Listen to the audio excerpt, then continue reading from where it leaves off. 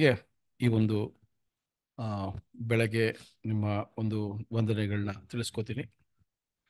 ಸಹೋದರ ಸಹೋದರರೇ, ಮತ್ತೊಮ್ಮೆ ತಂದೆಯ ದೇವರ ಕೃಪೆ, ಆತನ ದಯೆ,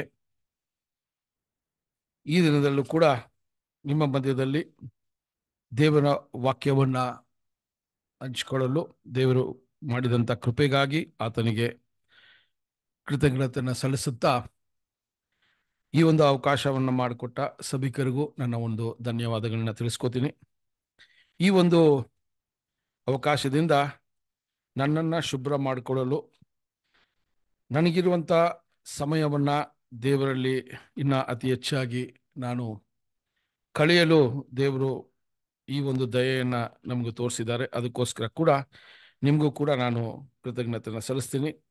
ಸಹೋದರ ಸಹೋದರ ಈ ದಿನದಲ್ಲಿ ಕೂಡ ನಾವೊಬ್ಬೊಬ್ರು ಈ ಒಂದು ಸತ್ಯದ ಮಾರ್ಗಕ್ಕೆ ಬಂದು ದೇವರನ್ನ ಅರಿತು, ಅವರ ಯೋಜನೆಯನ್ನ ಅರಿತು,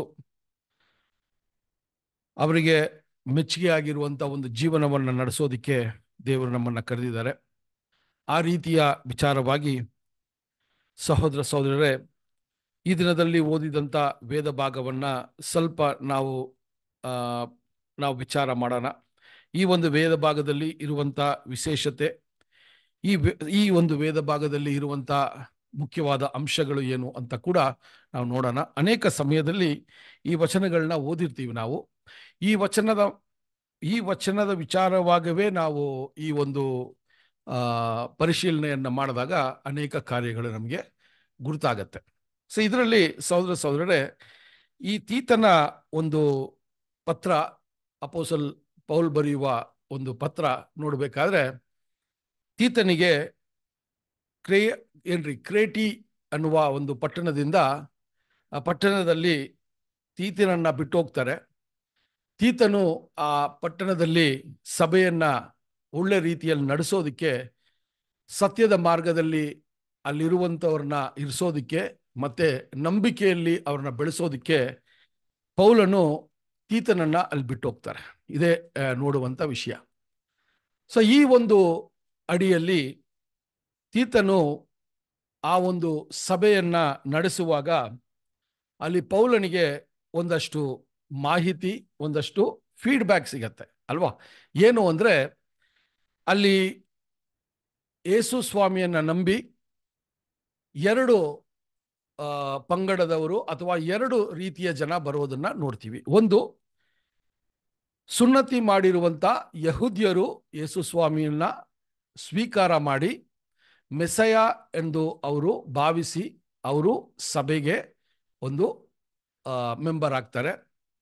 ಅದು ಮಾತ್ರವಲ್ಲ, ಅನ್ಯ ಜನರು, ಜೆಂಟೈಲ್ಸ್ ಅಲ್ವಾ, ಅವರು ಕೂಡ ಯೇಸು ಸ್ವಾಮಿಯ ಒಂದು ಮಹಾ ಕೃಪೆಯನ್ನು ನೋಡಿ ಅವರು ಕೂಡ ಅಲ್ಲಿ ಸಭೆಗೆ ಬರುವಂಥವರಾಗಿದ್ದಾರೆ ಸೊ ಇದು ಎರಡು ರೀತಿಯ ಜನರು ಸಭೆಯೊಳಗೆ ಈಗ ಇದ್ದಾರೆ.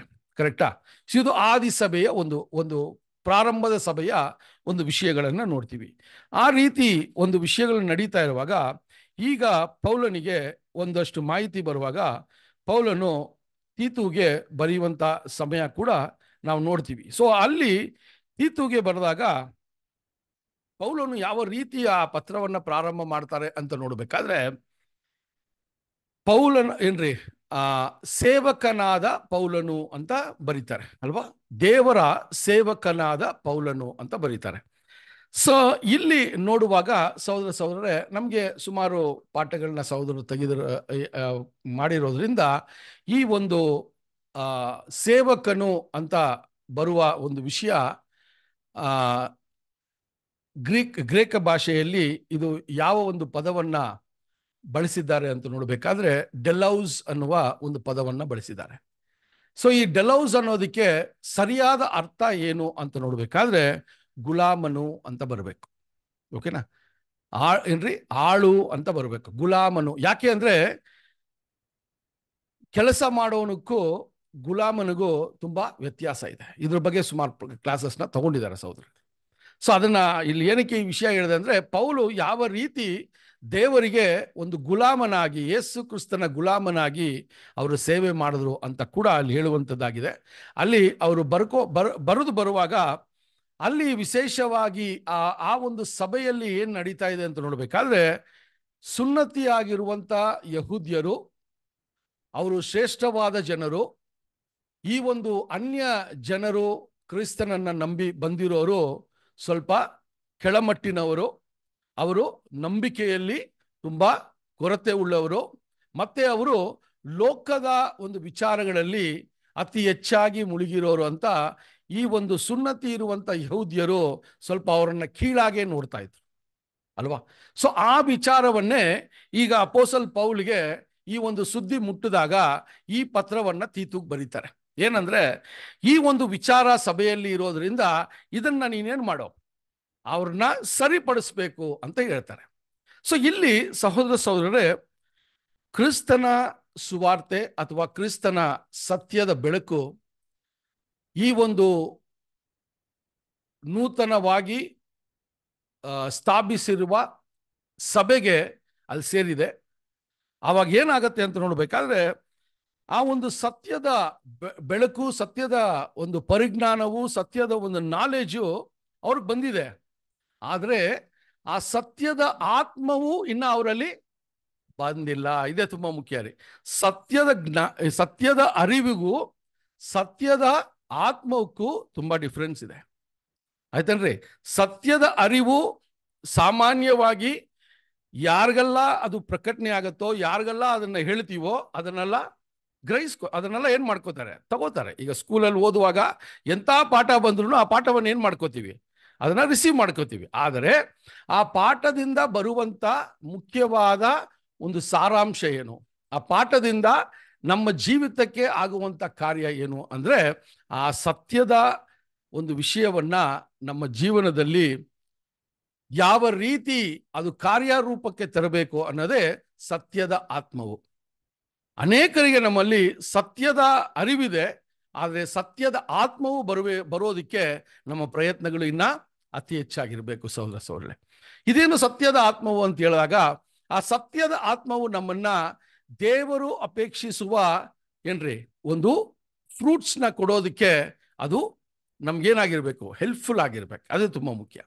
ಸೊ ಇಲ್ಲಿ ನಾವು ನೋಡುವಾಗ ಅಪೋಸಲ್ ಪೌಲ್ ಈ ಒಂದು ಯಹೂದಿಯರು ಕ್ರೈಸ್ತರಾದ ಜನರ ಬಗ್ಗೆ ಅಲ್ಲಿ ಮಾತಾಡ್ತಾರೆ. ಅದು ತೀತ ಒಂದನೇ ಅಧ್ಯಾಯ ಹತ್ತನೇ ವಚನದಿಂದ ಒಂದಷ್ಟು ವಿಷಯಗಳನ್ನ ಪ್ರಾರಂಭ ಓದೋಣ ನೋಡೋಣ. Titus first chapter. ಅನೇಕ ಅನೇಕರು ಬರಿ ಮಾತಿನವರಾಗಿಯೂ ಮೋಸಗಾರರಾಗಿಯೂ ಇದ್ದು ಅಧಿಕಾರಕ್ಕೆ ಒಳಗಾದವರಾಗಿದ್ದಾರೆ. ಅವರೊಳಗೆ ಹೆಚ್ಚು ಜನರು ಸುನ್ನತಿಯವರು. ನೋಡ್ರಿ ಇಲ್ಲಿ ಅಲ್ಲಿ ಹೇಳುವಾಗ ಈ ಸಭೆಯಲ್ಲಿ ಅಂತ ತೀತನಿಗೆ ಹೇಳುವಾಗ ಹೇಳ್ತಾರೆ ಅನೇಕರು ನಿಮ್ಮಲ್ಲಿ ಬರೀ ಮಾತನಾಡೋರು ಮತ್ತೆ ಮೋಸಗಾರರು ಮತ್ತೆ ಏನಂತ ಹೇಳ್ತಾರೆ?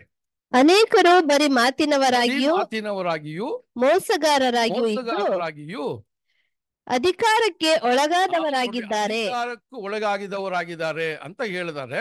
ಅದರಲ್ಲಿ ವಿಶೇಷವಾಗಿ ಸಭೆಯಲ್ಲಿ ಸುನ್ನತಿ ಆದವರು ಅಂತ ಹೇಳ್ತಾರೆ. ಸೊ ಇಲ್ಲಿ ಏನಕ್ಕೆ ಹೇಳ್ತಾರೆ ಅಂದ್ರೆ ಯಹೂದ್ಯರು ಆ ಸಭೆಯಲ್ಲಿ ಅವರನ್ನೇ ಶ್ರೇಷ್ಠವಾಗಿ ತಿಳ್ಕೊಂಡು ಅವರು ಮಾಡುವಂತ ಸಂಪ್ರದಾಯಗಳು, ಆ ಸುನ್ನತಿಯ ವಿಷಯಗಳು ತುಂಬಾ ಮುಖ್ಯವಾದದ್ದು. ಒಬ್ಬ ವ್ಯಕ್ತಿ ಕ್ರಿಸ್ತನಲ್ಲಿ ಬರಬೇಕಾದ್ರೆ ಸುನ್ನತಿ ಆಗಬೇಕು ಅನ್ನೋ ಒಂದು ಪ್ರಚಾರವನ್ನ ಅವ್ರು ಮಾಡ್ತಾ ಇದ್ರು. ಇದನ್ನೆಲ್ಲಾನೇ ಅಪೋಸಲ್ ಪೌಲು ಇಲ್ಲಿ ತುಂಬಾ ಕ್ಲಿಯರ್ ಆಗಿ ಹೇಳ್ತಾರೆ. ಹನ್ನೊಂದನೇ ವಚನ ಓದನ್ ಪ್ಲೀಸ್. ಅವರು ನೀಚ ಲಾಭವನ್ನು ಹೊಂದುವುದಕ್ಕಾಗಿ ಮಾಡಬಾರದ ಉಪದೇಶವನ್ನು ಮಾಡಿ ಕುಟುಂಬ ಕುಟುಂಬಗಳನ್ನೇ ಹಾಳು ಮಾಡುತ್ತಾರಾದ, ಆದ್ದರಿಂದ ಅವರ ಬಾಯಿ ಮುಚ್ಚಿಸಬೇಕಾಗಿದೆ. ಸಿಂಪಲ್. ಇಲ್ಲಿ ಯೇಸು ಕ್ರಿಸ್ತನನ್ನ ನಂಬಿ ಆತನ ಒಂದು ಸತ್ಯದ ಮಾರ್ಗದಲ್ಲಿ ಆತನ ಹೆಜ್ಜೆ ಜಾಡಿಯಲ್ಲಿ ನಡೆಯೋದಕ್ಕೆ ಕರೆದಿದ್ದಾರೆ.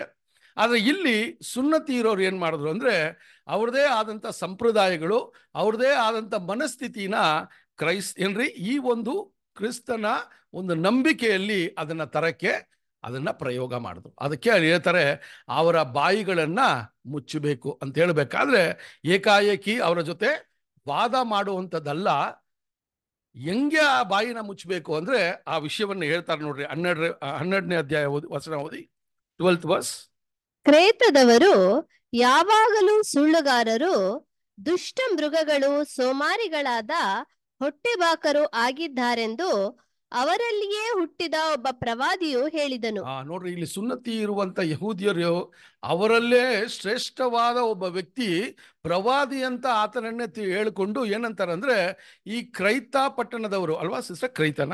ಕ್ರೈತ ಪಟ್ಟಣದವರು ಯಾವ ರೀತಿ ಜನ ಅಂದ್ರೆ, ಅಲ್ಲಿ ಹೇಳ್ತಾರೆ, ಸುಳ್ಳುಗಾರರು, ಅಲ್ವಾ, ದುಷ್ಟ ಜನರು, ಸೋಮಾರಿಗಳು ಅಂತ ಹೇಳ್ತಾರೆ. ಸೊ ಈ ರೀತಿಯ ಜನರಾಗಿ ಇದು ಯಾರು ಅಂದ್ರೆ ಅನ್ಯ ಜನರು. ಕ್ರೈಸ್ತ ಏನ್ರಿ? ಯೇಸು ಸ್ವಾಮಿಯನ್ನ ನಂಬಿ ಅವರು ಬಂದಿರುವ ಸಭೆಗೆ ಬಂದಿರುವ ಜನರು, ಅಲ್ಲಿರುವ ಅನ್ಯ ಜನರು ಈ ರೀತಿಯ ಗುಣವನ್ನ ಹೊಂದಿದವರಾಗಿದ್ದಾರೆ ಅಂತ ಅಲ್ಲಿ ಒಂದು ಏನ್ರಿ? ಒಂದು ಹೀನಾಯವಾದ ಮಾತುಗಳನ್ನ ಅಲ್ಲಿ ಹೇಳುವಂಥದ್ದಾಗಿದೆ. ಸರಿ. ಇದು ಇದು ನಿಜವಾ ಅಂತ ಹೇಳಬೇಕಾದ್ರೆ ಅದನ್ನ ನೆಕ್ಸ್ಟ್ ವರ್ಸಲ್ಲಿ ಹೇಳ್ತಾರೆ ನೋಡ್ರಿ ಅಪೋಸಲ್ ಪೌಲು. ಈ ಸಾಕ್ಷಿಯು ನಿಜವೇ. ಆ, ನೋಡ್ರಿ ಸಹೋದರ ಸಹೋದರ ಇದು ನಿಮ್ಮಲ್ಲಿ ನಡೀತಾ ಇರೋದು ನಿಜವೇ. ಕ್ರೈತ ಪಟ್ಟಣದವರು ನೀವು ಅನ್ಯ ಜನರಾಗಿರೋದ್ರಿಂದ ಯೇಸು ಸ್ವಾಮಿ ಹತ್ರ ಯೇಸು ಸ್ವಾಮಿಯ ನಂಬಿಕೆಯಲ್ಲಿ ಬಂದ ಮೇಲೂ ನೀವು ಈ ರೀತಿಯ ಒಂದು ಗುಣಗಳನ್ನ ಹೊಂದಿದ್ದೀರಾ ಅಂತ ಅಲ್ಲಿ ಸಾಬೀತುಪಡಿಸ್ತಾರೆ. ಅಲ್ಲಿ ಈ ಟೆಸ್ಟಿಫೈಸ್ ಇದು ನಿಜವೇ ಅಂತ ಹೇಳ್ತಾರೆ. ವಾಚನ ಓದಿಸ್ಟ್. ಆದ ಕಾರಣ ಆದ ಕಾರಣ ಅವರು ಯಹೂದ್ಯರ ಕಲ್ಪನಾ ಕಥೆಗಳಿಗೂ ಸತ್ಯಭ್ರಷ್ಟರಾದ ಮನುಷ್ಯರ ವಿಧಿಗಳಿಗೂ ಲಕ್ಷ್ಯ ಕೊಡದೆ ಕ್ರಿಸ್ತ ನಂಬಿಕೆಯಲ್ಲಿ ಸ್ವಸ್ಥ ಚಿತ್ತರಾಗಿರುವಂತೆ ಅವರನ್ನು ಕಠಿಣವಾಗಿ ಖಂಡಿಸು. ಸಿಂಪಲ್ ಸೊ ಇಲ್ಲಿ ಏನಂತಾರೆ ಅಂದ್ರೆ ಆ ಒಂದು ಯಹೂದ್ಯರು ಅನ್ಯ ಜನರ ಬಗ್ಗೆ ಮಾತನಾಡೋದು ಸರಿನೇ. ಇವರು ಕ್ರೈಸ್ತನಲ್ಲಿ ಬಂದ ನಂತರ ಕ್ರಿಸ್ತನ ಬೋಧನೆಗೆ ಅನುಸಾರವಾಗಿ ಅವರ ಒಂದು ಏನ್ರಿ ಮನಸ್ಸನ್ನ ಇನ್ನ ಸರಿಪಡಿಸ್ಕೊಂಡಿಲ್ಲ. ಅದರಿಂದ ಯಹೂದ್ಯರು ಹೇಳುವಂತ ಸಂಪ್ರದಾಯಗಳು, ಯಹೂದ್ಯರು ಹೇಳುವಂತ ಕಟ್ಟುಕತೆಗಳಿಗೆ ಅವರು ಗಮನ ಕೊಡದೆ, ಲಕ್ಷಿಸದೆ ಅವರು ಯಾವುದರಲ್ಲಿ ಬೆಳಿಬೇಕು ಅಂದ್ರೆ ಏನು ಸಿಸ್ಟರ್ ಕ್ರಿಸ್ತ ನಂಬಿಕೆಯಲ್ಲಿ ಸ್ವಸ್ಥ ಚಿತ್ತರಾಗುವಂತೆ ಅವ್ರನ್ನ ಖಂಡಿಸು ಅಂತ ಹೇಳ್ತಾರೆ. ಸರಿನಾ? ಸೊ ಈಗ ಅಲ್ಲಿ ಆ ಅನ್ಯ ಜನರು ಕ್ರಿಸ್ತನಲ್ಲಿ ಬಂದವರು ಯಾವ ರೀತಿಯ ಮನಸ್ಥಿತಿಯಲ್ಲಿ ಇದ್ದಾರೆ ಅಂತ ಸುನ್ನತಿಯಾಗಿರುವಂತ ಯಹೂದ್ಯರು ಅವ್ರನ್ನ ಹೀನಾಯ ಪಡಿಸ್ತಾರೆ ಸೊ, ಅದು ಅದು ಸರಿನೇ. ಅದರಿಂದ ನೀನ್ ಏನ್ ಮಾಡು ಅಂದ್ರೆ ಆ ಒಂದು ಜನರನ್ನ ನೀನು ಏನ್ ಮಾಡ್ಬೇಕ್ರಿ? ಸರಿಪಡಿಸ್ಬೇಕು ಅಂತ ಹೇಳ್ತಾರೆ. ಯಾಕೆ ಅಂತ ನೋಡ್ಬೇಕಾದ್ರೆ ಸಹೋದರ ಸಹೋದರರೇ, ಇಲ್ಲಿ ಆ ಆ ಒಂದು ಕಾರ್ಯಗಳನ್ನ ನೋಡಬೇಕಾದ್ರೆ ಅದನ್ನೇ ಹದಿನೈದು, ಹದಿನಾರಲ್ಲಿ ಒಂದು ವಿಂಗಡಣೆಯ ಮಾಡಿ ತೋರಿಸ್ತಾರೆ. ಕ್ರಿಸ್ತನಲ್ಲಿ ಬರದೇ ಇರುವಂತ ಒಂದು ಸಮಯದಲ್ಲಿ ಅಥವಾ ನಾವು ಎಲ್ಲರೂ ಕ್ರಿಸ್ತನಲ್ಲಿ ಬಂದ್ರೆ ಬಂದ್ರೆ ಮಾತ್ರಕ್ಕೆ ನಮ್ಮ ನಮ್ಮ ಮನಸ್ಸು, ನಮ್ಮ ಮನಸ್ಸಾಕ್ಷಿ ಇದೆಲ್ಲ ಏನಾಗಲ್ರಿ? ಇಮ್ಮಿಡಿಯೇಟ್ ಆಗಿ ಶುದ್ಧ ಆಗಲ್ಲ. ಅದನ್ನೇ ಇಲ್ಲಿ ಹೇಳ್ತಾರೆ. ಅಲ್ವಾ?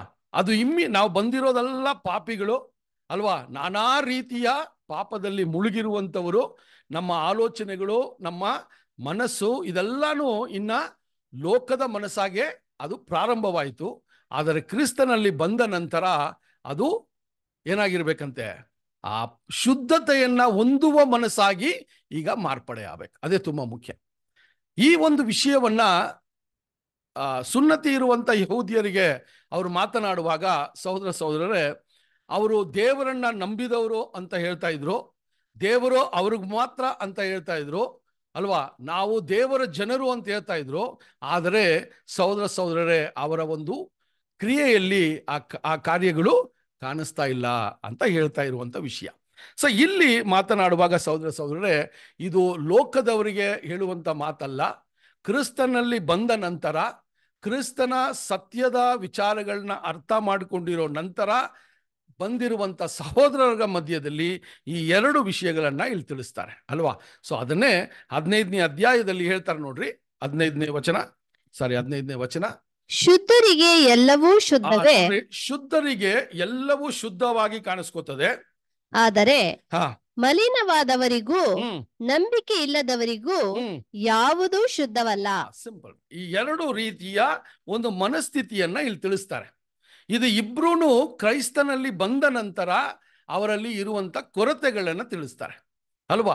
ಕ್ರಿಸ್ತನಲ್ಲಿ ಬಂದ ನಂತರ ನಮ್ಮ ಮನಸ್ಸು, ನಮ್ಮ ಮನಸ್ಸಾಕ್ಷಿ ಇದೆಲ್ಲ ಏನಾಗಿರ್ಬೇಕ್ರಿ? ಶುದ್ಧವಾಗಿರಬೇಕು.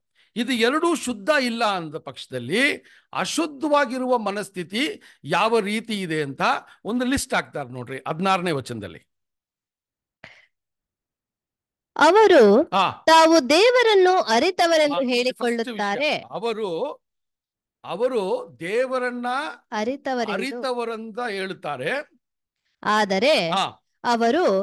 ಅಸಹ್ಯರು ಆ. ಅವಿನೇಯರು ನೋಡ್ರಿ ಅಸಹ್ಯರು ಅವಿವೇಯರು ಅವಿಧೇಯರು. ಅವಿದೆಯರು ಸತ್ಕಾರ್ಯಗಳಿಗೆಲ್ಲ ಸತ್ಕಾರ್ಯಗಳೆಲ್ಲ ಅಪ್ರಯೋಜಕರು ಪ್ರಯೋಜಕರು ಆಗಿರುವುದರಿಂದ ದೇವರನ್ನು ಅರಿಯವೆಂದು ತಮ್ಮ ಕಾರ್ಯಗಳಿಂದಲೇ ಹೇಳಿದಂತಾಯಿತು.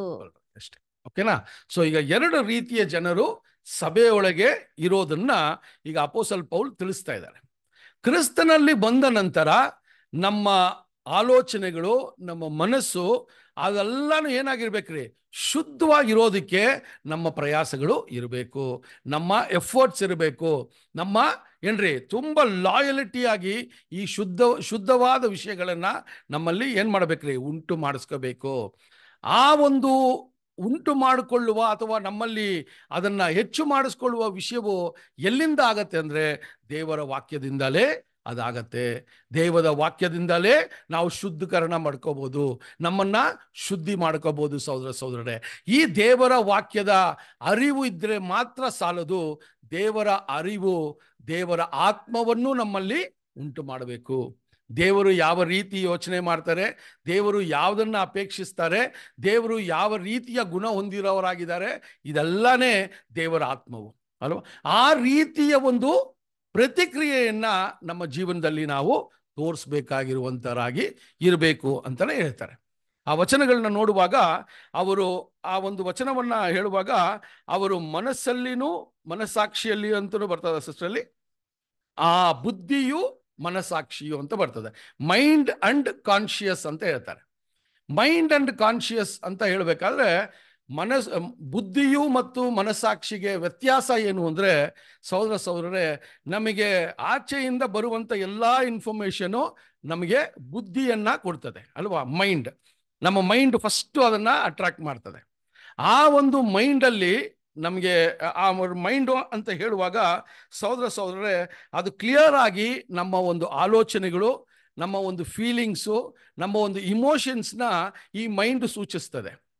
ಈ ಒಂದು ಬೇಸಿಕ್ ಆಗಿರೋ ಥಾಟ್ಸು ನಮ್ಮ ಒಂದು ಫೀಲಿಂಗ್ಸ್ ಅಲ್ಲ, ಅದು ಯಾವಾಗ ಸತತವಾಗಿ ಅಶುದ್ಧವಾಗಿಯೇ ಇರ್ತದೋ ಆವಾಗ ನನ್ನ ಮನಸ್ಸಾಕ್ಷಿನೂ ಏನಾಗಿರ್ತದೆ?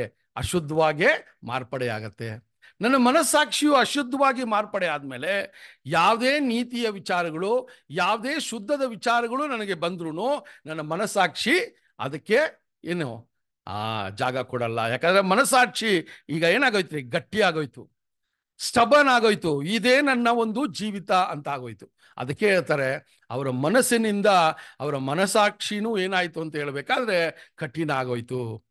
ಈ ಒಂದು ವಿಚಾರಗಳು ಆದಿರೋದ್ರಿಂದ ಅವರಿಂದ ಬರುವಂತ ಫಲ ಯಾವ ರೀತಿ ಇದೆ? ಅವರಿಂದ ಬರುವಂತ ಒಂದು ಏನ್ರಿ? ಒಂದು ಫ್ರೂಟ್ ಹೆಂಗಿದೆ ಅಂತ ನೋಡ್ಬೇಕಾದ್ರೆ, ಅವರು ದೇವರನ್ನ ಅರಿತೋರು ಅಂತ ಹೇಳ್ತಾರೆ, ಆದರೆ ಅವರ ಕ್ರಿಯೆಯಲ್ಲಿ ಅದು ಕಾಣಿಸ್ಕೋತಾ ಇಲ್ಲ. ಅವರು ಡಿಸ್ಒಬೀಡಿಯಂಟ್ ಅಂತ ಹೇಳ್ತಾರೆ. ಆ ವಚನ ನಾವು ಓದುವಾಗ ಸಹೋದರಸರು ಇಂಗ್ಲೀಷಲ್ಲಿ ಹೇಳ್ತಾರೆ ದೇ ಆರ್ ಅಬಾಮಿನಬಲ್ ಅಂತಾರೆ. ಅಲ್ವಾ? ಅಬ್ಬ ಏನ್ ಸಿಸ್ಟರ್ ಅಸಹ್ಯರು ಅಂತ ಹೇಳ್ತಾರೆ. ಯಾರ ಬಗ್ಗೆ ಮಾತಾಡ್ತಾರೆ? ಸಭೆಗೆ ಬಂದು ದೇವರ ಒಂದು ಏನ್ರಿ? ಒಂದು ಅಭಿಷೇಕವನ್ನ ಪಡೆದಿರುವ ಸಹೋದರ ಸಹೋದರಿಗೆ ಈ ವಿಚಾರವನ್ನ ಹೇಳ್ತಾರೆ. ಅವರು ಅಶ್ ಏನ್ರಿ? ಆ ಒಂದು ಅಸಹ್ಯರು ಅವಿದಯರು ಅಂತ ಹೇಳ್ತಾರೆ ಅನ್ಬಿಲೀವಿಂಗ್ ಸೊ ದೇವರ ಒಂದು ವಾಕ್ಯವನ್ನ, ಸತ್ಯದ ಒಂದು ವಿಷಯವನ್ನ ನಾಲೆಜ್ ಆಗೇ ಇಟ್ಟಿದ್ದಾರೆ. ಅದು ಇನ್ನ ನಾಲೆಜಿಂದ ಏನ್ರಿ? ದೇವರ ಒಂದು ಆತ್ಮವು ಅವರಲ್ಲಿ ಬೆಳೆಯೋದಿಕ್ಕೆ ಅವರ ಮನಸಾಕ್ಷಿ ಒಪ್ತಾ ಇಲ್ಲ. ಸೌದ ಸಹೋದರ ಈ ವಿಷಯಗಳನ್ನ ಹೇಳುವಾಗ ಅಲ್ಲಿ ಹೇಳ್ತಾರೆ ಅದು ಡಿಸೊಬೀಡಿಯಂಟ್ ಅಂಡ್ ಏನ್ರಿ? ಯಾವುದೇ ಒಂದು ಸತ್ಕ್ರಿಯೆಗಳಿಗೆ ಅವರು ಏನಾಗಿಲ್ವಂತೆ? ಆ ಅಪ್ರಯೋಜಕರಾಗಿದ್ದಾರೆ ಅಂತ ಹೇಳ್ತಾರೆ ಸಹೋದರ ಸಹೋದರ ಇಷ್ಟು ವಿಷಯಗಳನ್ನು ಅಲ್ಲಿ ಅಪೋಸಲ್ ಹೇಳುವಾಗ, ಅಲ್ಲಿ ಅಪೋಸಲ್ ಪೌಲ್ ಯಾವ ಒಂದು ಅಡಿಯಲ್ಲಿ ಇದನ್ನ ಅಲ್ಲಿ ತೀತುಗೆ, ಆ ತೀತನಿಗೆ ಬರೀತಾರೆ ಅಂದ್ರೆ ಸಭೆಯಲ್ಲಿ ಈ ಒಂದು ಕೊರತೆ ಇರೋದನ್ನ ನೋಡ್ತಾರೆ. ಏನಪ್ಪ ಆ ಕೊರತೆ ಅಂತ ನೋಡ್ಬೇಕಾದ್ರೆ, ಯಾವಾಗ ಸತ್ಯದ ಅರಿವನ್ನ ಪಡ್ಕೊಂಡಿರೋ ನಾವು ಎಲ್ಲಾ ರೀತಿಯಲ್ಲೂ ಸರಿಯಾದ ಬೆಳವಣಿಗೆ ಇಲ್ಲದೆ ಇರುವಾಗ ಈ ಅಶುದ್ಧದ ಕ್ರಿಯೆಗಳು ಇನ್ನೂ ನಮ್ಮಲ್ಲಿ ಇರ್ತದೆ. ಅಲ್ವಾ? ಈ ಅಶುದ್ಧದ ಕ್ರಿಯೆಗಳು ಯಾವಾಗಲೂ ನಮ್ಮಲ್ಲಿ ಇರ್ತದೆ. ಯಾಕೆ ಅಂದರೆ ಪ್ರಪೋರ್ಷನೇಟ್ ಆಗಿ ಕ್ರಿಸ್ತನ ಪ್ರೀತಿ ನಮ್ಮಲ್ಲಿ ಬೆಳೆದೇ ಇರುವಾಗ.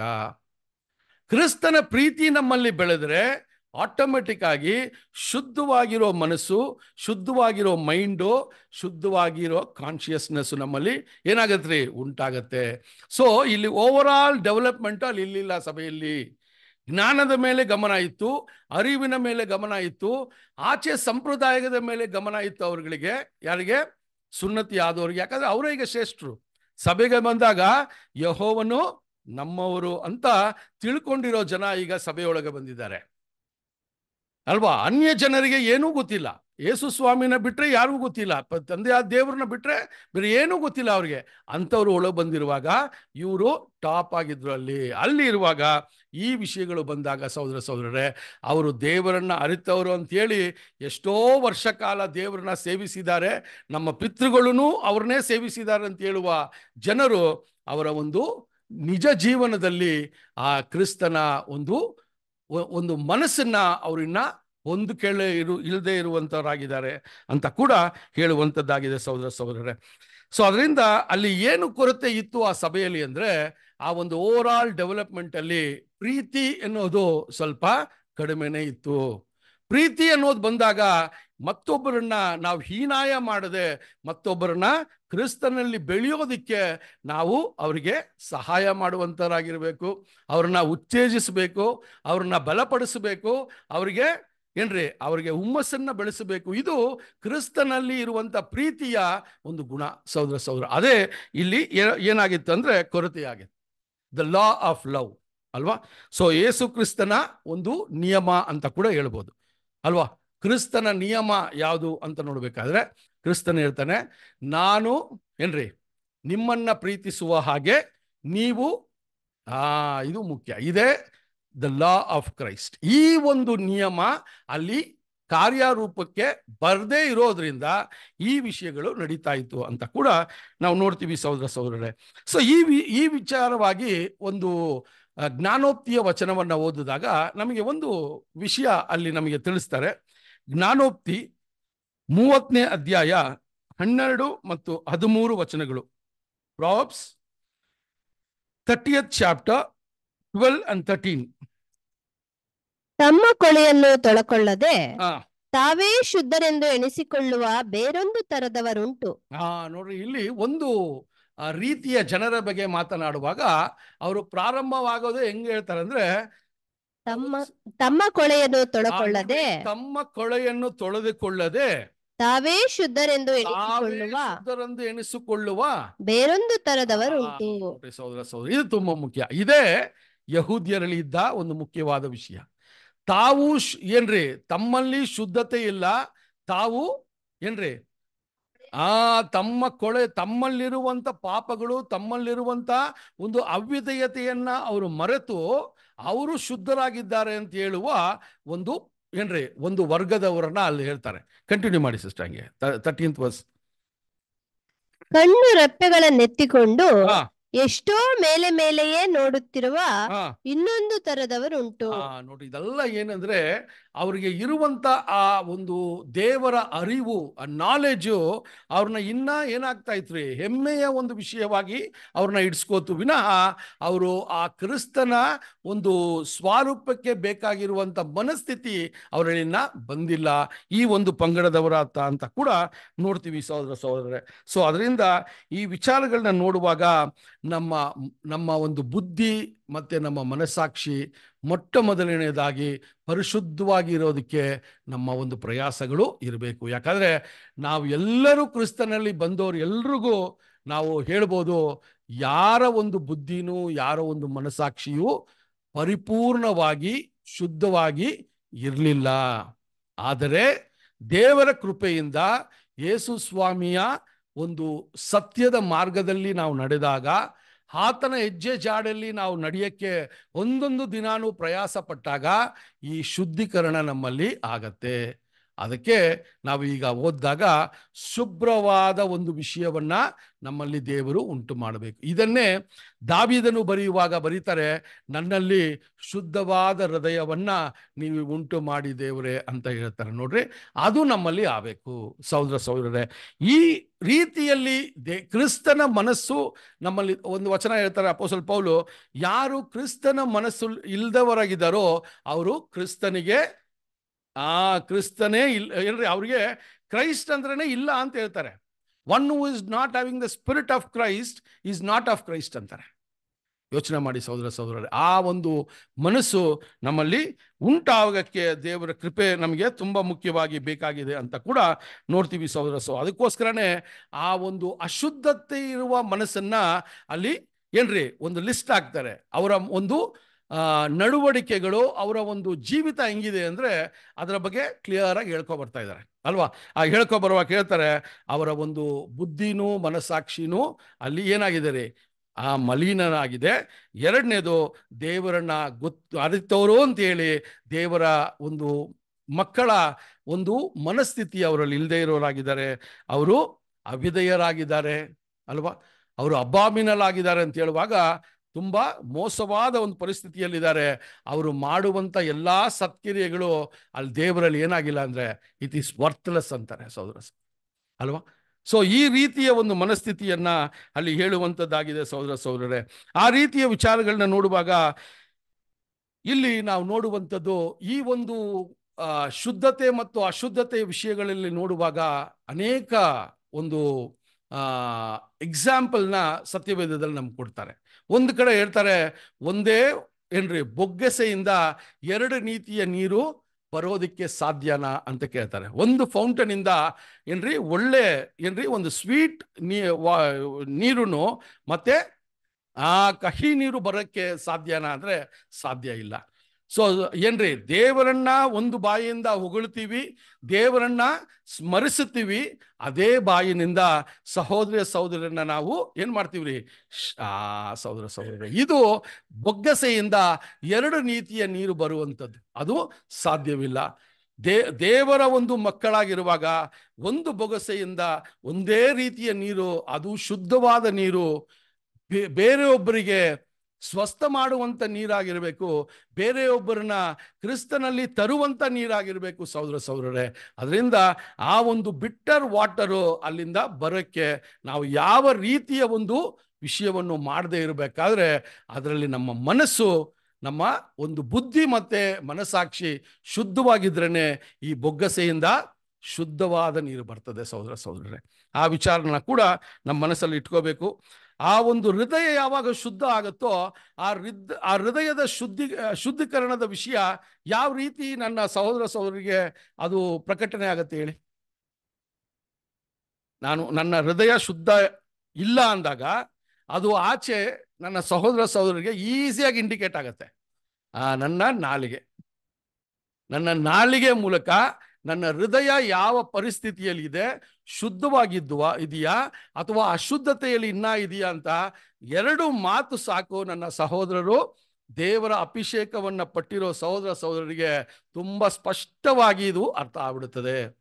ಸೊ ಅದರಿಂದ ಸಹೋದರ ಸಹೋದರರೇ the tongue is the indication of your heart ಅಂತ ಹೇಳ್ತಾರೆ. ಅದರಿಂದ ಆ ವಿಚಾರಗಳ ಮೇಲೆ ಗಮನ ಇರಬೇಕು ಸಹೋದರ ಸಹೋದರರೇ. ಹಂಗಿರುವಾಗ ಈ ಒಂದು ವಿಷಯವನ್ನು ನೋಡುವಾಗ ಸಹೋದರ ಸಹೋದರರೇ, ನಾವು ಶುದ್ಧತೆಯನ್ನ ಹೊಂದೋದಕ್ಕೆ ಬಂದಿದ್ದೀವಿ. ಯಾಕಂದ್ರೆ ತಂದೆಯ ದೇವರು ನಮ್ಮನ್ನ ಕರೆದಿರೋದೇ ನಾನು ಶುದ್ಧರಾಗಿರೋದ್ರಿಂದ ನೀವು ಶುದ್ಧರಾಗಿರಿ ಅಂತ ನಮಗೆ ಆ ಪವಿತ್ರತೆಗೆ ನಮ್ಮನ್ನ ಕರೆದಿದ್ದಾರೆ. ಅಲ್ವಾ? ಸೊ ಆ ರೀತಿಯ ವಿಚಾರಗಳು ಇದ್ದಾಗ ನಾವು ಈ ಪವಿತ್ರ, ಈ ಒಂದು ಶುದ್ಧತೆಯನ್ನ ನಮ್ಮ ಜೀವನದಲ್ಲಿ ನಾವು ಜಾರಿಗೆ ತರಲೇಬೇಕು. ದೇವರ ಒಂದು ಮನಸ್ಸನ್ನ ಅರ್ಥ ಮಾಡಿಕೊಂಡು ದೇವರಲ್ಲಿ ವಿಧೇಯರಾಗಿರೋದಕ್ಕೆ ನಾವು ಒಂದೊಂದು ದಿನಾನೂ ಈ ಕ್ರಿಸ್ತನ ಒಂದು ಮಾರ್ಗದಲ್ಲಿ ನಡೆಯುವಾಗ ನಮ್ಮ ಮನಸ್ಸು, ನಮ್ಮ ಬುದ್ಧಿ ಮತ್ತು ನಮ್ಮ ಒಂದು ಮನಸಾಕ್ಷಿ ಶುದ್ಧವಾಗಿರೋದಕ್ಕೆ ನಾವು ಎಷ್ಟು ಎಚ್ಚೆತ್ತಾದ ಒಂದು ಏನ್ರಿ ಒಂದು ಒಂದು ಎಫರ್ಟ್ನ ಹಾಕ್ತೀವೋ ಅಷ್ಟೇ ಈಸಿ ನಮ್ಮ ಬರುವಂಥ ವಿಷಯಗಳು ಅಂತ ಕೂಡ ನೋಡ್ತೀವಿ. ಇದು ಎರಡೂ ಶುದ್ಧವಾಗಿದ್ದು ಬಿಟ್ರೆ ಬೇರೆ ವಿಷಯಗಳೆಲ್ಲ ಅದಕ್ಕೆ ಆದಂಥ ಒಂದು ಶುದ್ಧತೆಯನ್ನ ಹೊಂದಿಕೊಂಡು ಹೋಗುವಂತ ಒಂದು ವಿಷಯವಾಗಿದೆ ಸಹೋದರ ಸಹೋದರರೇ. ಅದರಿಂದ ಈ ಸತ್ಯದ ಮಾರ್ಗದಲ್ಲಿ ಬರೆಯುವಾಗ, ಬರುವಾಗ ಸತ್ಯವು ತುಂಬಾ ನಮಗೆ ಆಕರ್ಷಣೆಯಾಗಿರ್ತದೆ. ಸತ್ಯವು ತುಂಬಾ ಅಟ್ರಾಕ್ಟಿವ್ ಆಗಿರ್ತದೆ. ಎಷ್ಟೋ ವರ್ಷ ಕ್ರೈಸ್ತರಾಗಿ ಬದುಕಿರ್ತೀವಿ, ಎಷ್ಟೋ ವರ್ಷ ಕ್ರೈಸ್ತರಾಗಿ ಜೀವಿಸಿರ್ತೀವಿ, ಆದರೆ ಈ ಸತ್ಯದ ಮಾರ್ಗದ ಬೆಳಕು ಬಂದಾಗ ನಮಗೆ ಏನೋ ಒಂಥರ ನಮ್ಮಲ್ಲಿ ಒಂದು ಸಂತೋಷ, ಅಲ್ವಾ? ಸೊ ದೇವರು ಈ ರೀತಿಯ ಒಂದು ಪಾಪಿಗೆ ಕೂಡ ಈ ಒಂದು ನಮ್ಮ ಒಂದು ಐಸ್ ಆಫ್ ಅಂಡರ್ಸ್ಟ್ಯಾಂಡಿಂಗ್ನ ತೆರೆದಿದ್ದಾರಲ್ಲ ಅಂತ ಸಂತೋಷ. ಆ ರೀತಿಯ ಸಂತೋಷ ನಿಜವಾಗ್ಲೂ ನಮ್ಮಲ್ಲಿ ಇನ್ನ ಅತಿ ಹೆಚ್ಚಾಗಿ ಬೆಳಿಬೇಕಂದ್ರೆ ಸಹೋದರ ಸಹೋದರರೇ, ಆ ಸತ್ಯದ ಆತ್ಮವನ್ನ ನಮ್ಮಲ್ಲಿ ನಾವೇನ್ ಮಾಡಬೇಕ್ರಿ? ಉಂಟು ಮಾಡಿಸ್ಕೋಬೇಕು, ತುಂಬಾ ಮುಖ್ಯವಾದದ್ದು. ಸೊ ಆ ರೀತಿಯ ವಿಚಾರಗಳಲ್ಲಿ ನೋಡಬೇಕಾದ್ರೆ ಒಂದು ಒಂದು ನಾಲ್ಕು ವಿಷಯಗಳನ್ನ ಇಲ್ಲಿ ನಮಗೆ ಹೇಳ್ತಾರೆ. ಏನು ಅಂದ್ರೆ, ಒಂದು ವೇಳೆ ಒಂದು ವೇಳೆ ನಮಗೆ ಈ ಒಂದು ವಿಷಯದಲ್ಲಿ, ಈ ಒಂದು ಶುದ್ಧತೆಯ ವಿಷಯದಲ್ಲಿ ಅಥವಾ ನಮ್ಮಲ್ಲಿ ಈ ಅಪೋಸಲ್ ಪೌಲ್ ಹೇಳುವಂಥ ಅಶುದ್ಧತೆಯ ಮನಸ್ಸುಳ್ಳವರಿಗೆ ಯಾವ ರೀತಿಯ ಗುಣಗಳಿದೆ ಅಂತ ತೋರಿಸ್ತಾರೆ. ಒಂದು ವೇಳೆ ಸ್ವಲ್ಪ ಆದರೂ ಈ ಒಂದು ಗುಣಗಳು ಗುಣಾದಿಶಯಗಳು ನಮ್ಮಲ್ಲಿ ಕಂಡು ಬಂದರೆ ನಮಗೆ ಆತ್ಮೀಕವಾಗಿ ಯಾವುದೋ ಒಂದು ಕಾಯಿಲೆ ಇದೆ ಅಂತ ನಾವು ಫಸ್ಟು ಅಂಡರ್ಸ್ಟ್ಯಾಂಡ್ ಮಾಡ್ಕೋಬೇಕು. ಸಹೋದರ ಸಹೋದರೇ ಇದು ಇಂಡಿವಿಜುವಲ್ ಆಗಿ ನಾವು ಒಬ್ಬೊಬ್ರು ಪರಿಶೀಲನೆ ಮಾಡಿಕೊಳ್ಳುವಂಥ ವಿಷಯ. ಬೇರೆ ಸಹೋದರನೋ, ಬೇರೆ ಸಹೋದರಿಗೋ ಎಷ್ಟೋ ಕಾಯಿಲೆಗಳಿದ್ರೂ ಅದು ದೇವರಿಗೂ ಅವ್ರಿಗೆ ಬಿಟ್ಟಿರುವಂಥ ವಿಷಯ. ಆದರೆ ನಾನು ಮೊಟ್ಟ ಮೊದಲನೇದಾಗಿ ಈ ಕಾಯಿಲೆಯಿಂದ ಏನಾಗಬೇಕ್ರಿ? ಆ, ಪಾರಾಗಬೇಕು. ಅದಕ್ಕೆ ವಚನ ಇರ್ತದೆ ತಂದೆಯಾದ ದೇವರು ಎಲ್ಲ ನಮ್ಮಲ್ಲಿರುವಂಥ ಕಾಯಿಲೆಗಳನ್ನ ನಿವೃತ್ತಿ ಮಾಡುವುದು ಅಥವಾ ತೆಗೆದುಹಾಕುವ ಒಂದು ವಿಷಯ ಸ್ವಸ್ಥ ಮಾಡುವಂಥ ವಿಷಯ ಆತನಲ್ಲಿ ಮಾತ್ರನೇ ಇರೋದು ಪರ್ಟಿಕ್ಯುಲರ್ ಆಗಿ ಈ ಆತ್ಮೀಕ ಒಂದು ನೋವು ಒಂದು ಕಾಯಿಲೆ ನಮ್ಮಲ್ಲಿದ್ದಾಗ. ಕೀರ್ತನೆ ನೂರ ಮೂರ ಅಧ್ಯಾಯ ನೂರ ಮೂರ ಅಧ್ಯಾಯ ಮೂರನೇ ವಚನ Psalms hundred and three third chapter third verse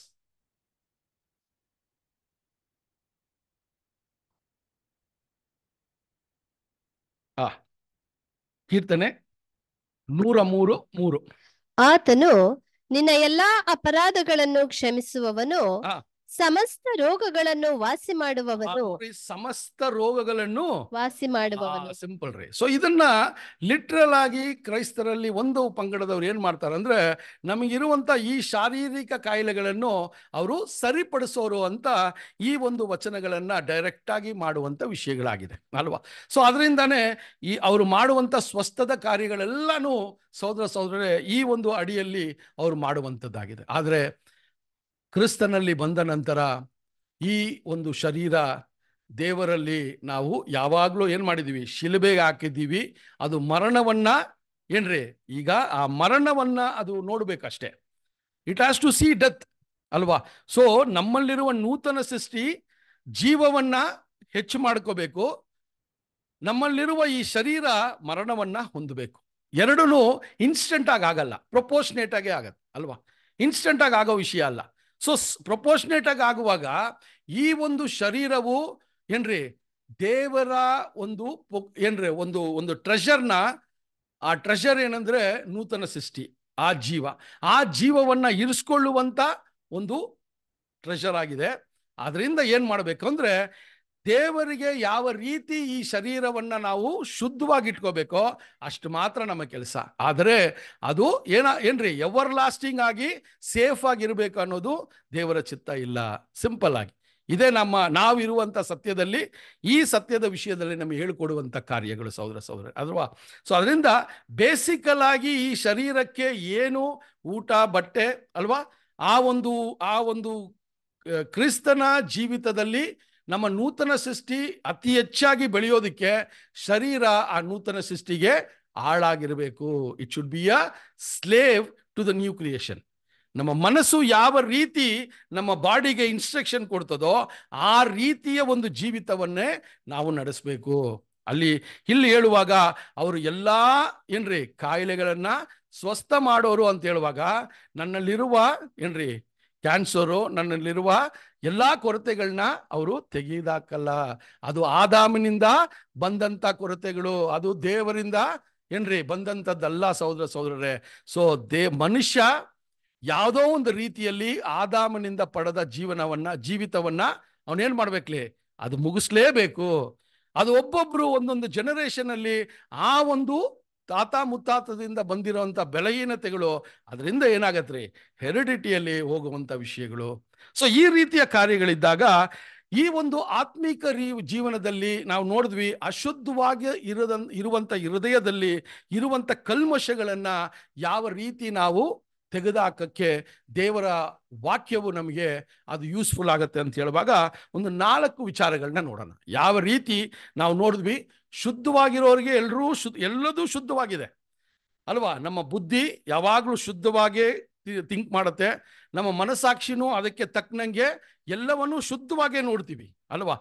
ಯಾಕಂದರೆ ವಚನ ಹೇಳ್ತದೆ, ನಿಮ್ಮ ಕಣ್ಗಳು ನಿಮ್ಮ ಶರೀರದ ಏನ್ರಿ, ಬೆಳಕು ಅಂತ ಹೇಳ್ತಾರೆ. The your eyes are the light of the body ಯೋಚನೆ ಮಾಡಿ.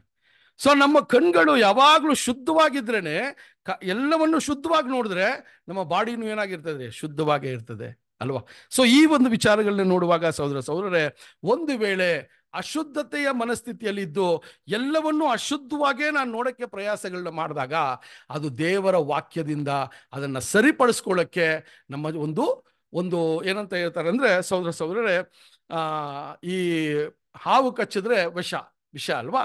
ಆ ಒಂದು ವಿಷಹಾರಿ ಇರುವಂಥ ಒಂದು ಮದ್ದನ್ನು ಕೊಡ್ತಾರೆ ಅಲ್ವಾ? ಆಂಟಿಡಾಟ್ ಕೊಡ್ತಾರೆ. ಆ ಆಂಟಿಡಾಟ್ಗೆ ಕನ್ನಡದಲ್ಲಿ ವಿಷಹಾರಿ ಅಂತ ಹೇಳ್ತಾರ? ಆಂಟಿಡಾಟ್ ಅಲ್ವಾ? ಅದಕ್ಕೆ ಆ ವಿಷ ಆ ಮನುಷ್ಯನನ್ನ ಕೊಳ್ಬ ಏನ್ರಿ, ಸಾಯಿಸಬಾರ್ದು ಅಥವಾ ಜೀವನವನ್ನ ತೆಗಿ, ಜೀವವನ್ನ ತೆಗಿಬಾರ್ದು ಅಂತೇಳಿ ಒಂದು ಆಂಟಿಡಾಟ್ ಮೆಡಿಸಿನ್ ಕೊಡ್ತಾರೆ, ಅಲ್ವಾ? ಅದೇ ರೀತಿಯಲ್ಲಿ ದೇವರ ಮಕ್ಕಳಿಗೆ ಒಂದು ವೇಳೆ ಈ ಒಂದು, ಏನ್ರಿ, ಅಶುದ್ಧತೆ ಎನ್ನುವ ಒಂದು ವಿಷಯವು ನಮ್ಮಲ್ಲಿ ತುಂಬಿದ್ರೆ ಆ ಆ ವಿಷಯವನ್ನು ತೆಗೆದುಹಾಕೋದಕ್ಕೆ ದೇವರ ವಾಕ್ಯದಿಂದ ನಮಗೆ ಒಂದು ಆಂಟಿಡಾಟ್ ಕೊಡ್ತಾರೆ. ಏನಂತ ನೋಡೋಣ? ಒಂದನೇದಾಗಿ ಒಂದು ವಿಷಯ ನೋಡೋಣ. ಒಂದನೇ ಯೌವಾನ ಮೂರನೇ ಅಧ್ಯಾಯ ಮೂರನೇ ವಚನ. First John third chapter third verse ಇದು ಮೊಟ್ಟ ಮೊದಲನೆಯದಾಗಿ ಒಂದು ಅಶುದ್ಧವಾಗಿರುವಂತ ಬುದ್ಧಿಗೆ ಮನಸಾಕ್ಷಿಗೆ ದೇವರು ಕೊಡುವಂತ ಫಸ್ಟ್ ಪ್ರಿಸ್ಕ್ರಿಪ್ಷನ್ ಆಫ್ ಮೆಡಿಸನ್ ಏನು ಅಂತ ನೋಡೋಣ. ಯಾಕೆಂದರೆ ಆತನಿರುವ ಪ್ರಕಾರವೇ ಆತನನ್ನು ನೋಡುವೆವು.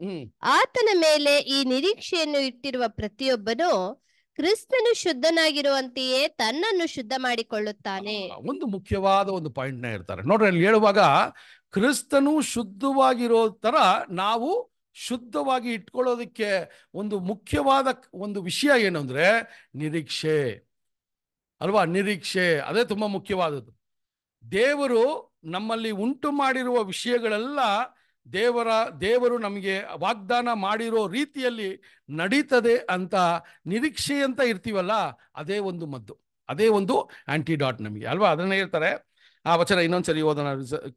ಪ್ಲೀಸ್ ಯಾಕೆಂದರೆ ಯಾಕೆಂದರೆ ಆತನಿರುವ ಪ್ರಕಾರವೇ ಆತನಿರುವ ಪ್ರಕಾರವೇ ಆತನನ್ನು ನೋಡುವೆವು. ಆತನನ್ನು ನೋಡುವೆವು. ನೋಡ್ರಿ ಇದೆಲ್ಲನೇ ಏನ್ರಿ? ಈ ವಚನ ಓದುವಾಗ ಇದು ನಿರೀಕ್ಷೆ. ಆತನಿರುವ ಪ್ರಕಾರವೇ ಆತನನ್ನು ನೋಡುವೆವು ಅಂದ್ರೆ ಇದು ನಿರೀಕ್ಷೆಯಲ್ಲಿದ್ದೀವಿ ನಾವು. ವಿ ಆರ್ ಇನ್ ಹೋಪ್ ಆ ಮತ್ತೆ? ಆತನ ಮೇಲೆ ಈ ನಿರೀಕ್ಷೆಯನ್ನು ಇಟ್ಟಿರುವ ಆ ನೋಡ್ರಿ ಆತನ ಮೇಲೆ ಈ ನಿರೀಕ್ಷೆ ಅಂತ ಹೇಳುವಾಗ ಯೇಸು ಸ್ವಾಮಿನ ಮುಖಮುಖಿಯಾಗಿ ಸಹೋದರನಾಗಿ ನೋಡುವಂತ ಒಂದು ನಿರೀಕ್ಷೆ. ಈ ನಿರೀಕ್ಷೆಯನ್ನ ಇಟ್ಟಿರುವವರು ಯಾವ ರೀತಿ ಇರಬೇಕು ಅಂತ ಹೇಳ್ತಾರೆ ನೋಡ್ರಿ. ಪ್ರತಿಯೊಬ್ಬನು. ಕ್ರಿಸ್ತನು ಶುದ್ಧನಾಗಿರುವಂತೆಯೇ ತನ್ನನ್ನು ಶುದ್ಧ ಮಾಡಿಕೊಳ್ಳುತ್ತಾನೆ. ಸಿಂಪಲ್ ರೀ ಇಷ್ಟೇ. ಓಕೆನಾ? ಆ ನಿರೀಕ್ಷೆ ನಮ್ಮಲ್ಲಿ ಎಷ್ಟು ಆಳವಾಗಿದೆಯೋ ಅಷ್ಟೇ ಒಂದು ರೀತಿಯಲ್ಲಿ ನಮ್ಮ ಶುದ್ಧೀಕರಣ ನಡೀತದೆ. ಆ ನಿರೀಕ್ಷೆಯ ಮೇಲೆ ನಮ್ಮ ನಂಬಿಕೆ ಎಷ್ಟು ಅತಿ ಹೆಚ್ಚಾಗಿದೆಯೋ ಅಷ್ಟೇ ರೀತಿಯಲ್ಲಿ ನಮ್ಮ ಶುದ್ಧೀಕರಣ ನಮ್ಮ ಮನಸ್ಸು ನಮ್ಮ ಬುದ್ಧಿ ಶುದ್ಧವಾಗಿ ಇರ್ತದೆ ಸಹೋದರ ಸಹೋದರರೇ. ಅದರಿಂದ ಫಸ್ಟ್ ಮೆಡಿಸನ್ನು ದೇವರು ಪ್ರಿಸ್ಕ್ರೈಬ್ ಮಾಡೋದು ನಮಗೆ ಇರುವಂಥ ನಿರೀಕ್ಷೆ. ಅಲ್ವಾ? ಸೊ ಈ ವಿಷಯಗಳನ್ನ ನೋಡಬೇಕಾದ್ರೆ ಬರುವಂಥ ಯುಗದ ನಿರೀಕ್ಷೆ ಮಾತ್ರ ಅಲ್ಲ, ಈಗಿರೋ ಕಾಲ ಸಮಯದಲ್ಲೂ ದೇವರನ್ನ ಪ್ರೀತಿಸುವ ಮಕ್ಕಳಿಗೆ ಎಲ್ಲಾನು ಒಳ್ಳೆಯದಕ್ಕೆ ನಡೀತದೆ ಅನ್ನುವ ಒಂದು ನಿರೀಕ್ಷೆ. ಅದು ಕೂಡ ನಿರೀಕ್ಷೆನೆ. ಅಲ್ವಾ? ನಮಗೆ ಕಷ್ಟ ಇದೆ, ಸಂಕಷ್ಟವಿದೆ, ಆಪತ್ತಿದೆ, ವಿಪತ್ತುಗಳು ಎಷ್ಟೋ ಬಂದ್ರೂ ನಾವು ಏನು ನಿರೀಕ್ಷೆಯಲ್ಲಿ ಇದ್ದೀವಿ ಅಂದ್ರೆ ದೇವರ ಕೈಗೆ ನಮ್ಮ ಆತ್ಮವನ್ನು ಒಪ್ಸಿದ್ದೀವಿ, ಅವರೇ ನಮ್ಮ, ನಮಗೆ ಸರ್ವವು ಅಂತ ಒಪ್ಸಿದ್ದೀವಿ ಅದರಿಂದ ಅವರೇ ನಮಗೆ ಒಳ್ಳೆಯದನ್ನು ಮಾಡ್ತಾರೆ ಅಂತೇಳಿ ನಿರೀಕ್ಷೆ ಇದೆಯಲ್ಲ, ಅದೇ ಫಸ್ಟ್ ಮೆಡಿಸನ್ನು ನಮಗೆ ಏನ್ರಿ, ನಮಗೆ ನಮ್ಮ ದೃಷ್ಟಿಯು ಅಶುದ್ಧತೆಯನ್ನ ತೆಗೆದುಹಾಕೋದಕ್ಕೆ ಅಲ್ವಾ? ಯಾವಾಗ ಈ ಒಂದು ನಿರೀಕ್ಷೆ, ಈ ಒಂದು ನಂಬಿಕೆ ದೇವರು ನಮ್ಮ ಜೀವನವನ್ನು ನಡೆಸ್ತಾರೆ ಅನ್ನುವ ಒಂದು ನಂಬಿಕೆ ನಮ್ಮಲ್ಲಿ ಇಲ್ಲವೋ, ಆವಾಗ ಲೋಕದ ಮನಸ್ಥಿತಿಯಲ್ಲಿ ಅತಿ ಹೆಚ್ಚಾಗಿ ನಾವು ಇರ್ತೀವಿ. ಲೋಕದ ಭಯ, ಲೋಕದ ಅಗೆತನ, ಲೋಕದ ಉಮ್ಮ, ಏನ್ರಿ ಲೋಕದಲ್ಲಿರುವಂಥ ಆ ಒಂದು ಪ್ರೈಡು, ಇದೆಲ್ಲ ಯಾಕಿದೆ ಅಂದರೆ ಕ್ರಿಸ್ತನಲ್ಲಿ ನಂಬಿಕೆಯ ಕೊರತೆ ನಮ್ಮಲ್ಲಿದೆ. ಅದರಿಂದ ಫಸ್ಟ್ ಏನು ಮಾಡಬೇಕಂದ್ರೆ ಕ್ರಿಸ್ತನ ನಿರೀಕ್ಷೆ ನಂಬಿಕೆಯಲ್ಲಿ ನಮ್ಮ ನಿರೀಕ್ಷೆಯಲ್ಲಿ ನಮ್ಮ ನಂಬಿಕೆ ಅತಿ ಹೆಚ್ಚಾಗಿರಬೇಕು ಸಹೋದರ ಸಹೋದರರೇ. ಅದು ಮೊದಲನೇದಾಗಿ ದೇವರು ಕೊಡುವಂಥ ವಿಷಯ ಆ ನಂಬಿಕೆಯ ಮೇಲೆ ನಮ್ಮ ಗಮನ ಇರಲಿ ಅಲ್ವಾ? ಎಷ್ಟೋ ಪಾಠಗಳು ನಮಗೆ ನಂಬಿಕೆಯಾಗಿದೆ ಅಲ್ವಾ? ಸೊ ಅಬ್ರಾಹಮ್ನ ಜೀವನದಲ್ಲಿ ನೋಡಬೇಕಾದ್ರೆ ನಂಬಿಕೆನೇ ಅಲ್ವಾ? ಮೋಸೆಯ ಜೀವನದಲ್ಲಿ ನೋಡಿದ್ರೆ ನಂಬಿಕೆನೇ, ಅಲ್ವಾ? ಸೊ ಇದೆಲ್ಲನೂ ಆ ನಂಬಿಕೆ ನಿರೀಕ್ಷೆ ಮೇಲೆ ಇರುವಂಥದ್ದೇ ಇದೆ. ಯಾಕಂದ್ರೆ ಅಲ್ಲಿ ವಚನ ಹೇಳ್ತದೆ, ಏನ್ರಿ, ಮೋಶೆ ಬರುವಂತ ಒಂದು ಪಟ್ಟಣವನ್ನ ಅಲ್ಲಿ ಎದುರು ನೋಡ್ತಾ ಇದ್ರು ಅಂತ ಹೇಳುವಾಗ ಆತನಿಗೂ ಒಂದು ನಿರೀಕ್ಷೆಯನ್ನ ದೇವರು ಇಟ್ಟಿದ್ರು. ಆ ರೀತಿಯಲ್ಲಿ ಸಹೋದರ ಸಹೋದರರೇ, ನಮಗೆ ನಿರೀಕ್ಷೆ ಇದೆ.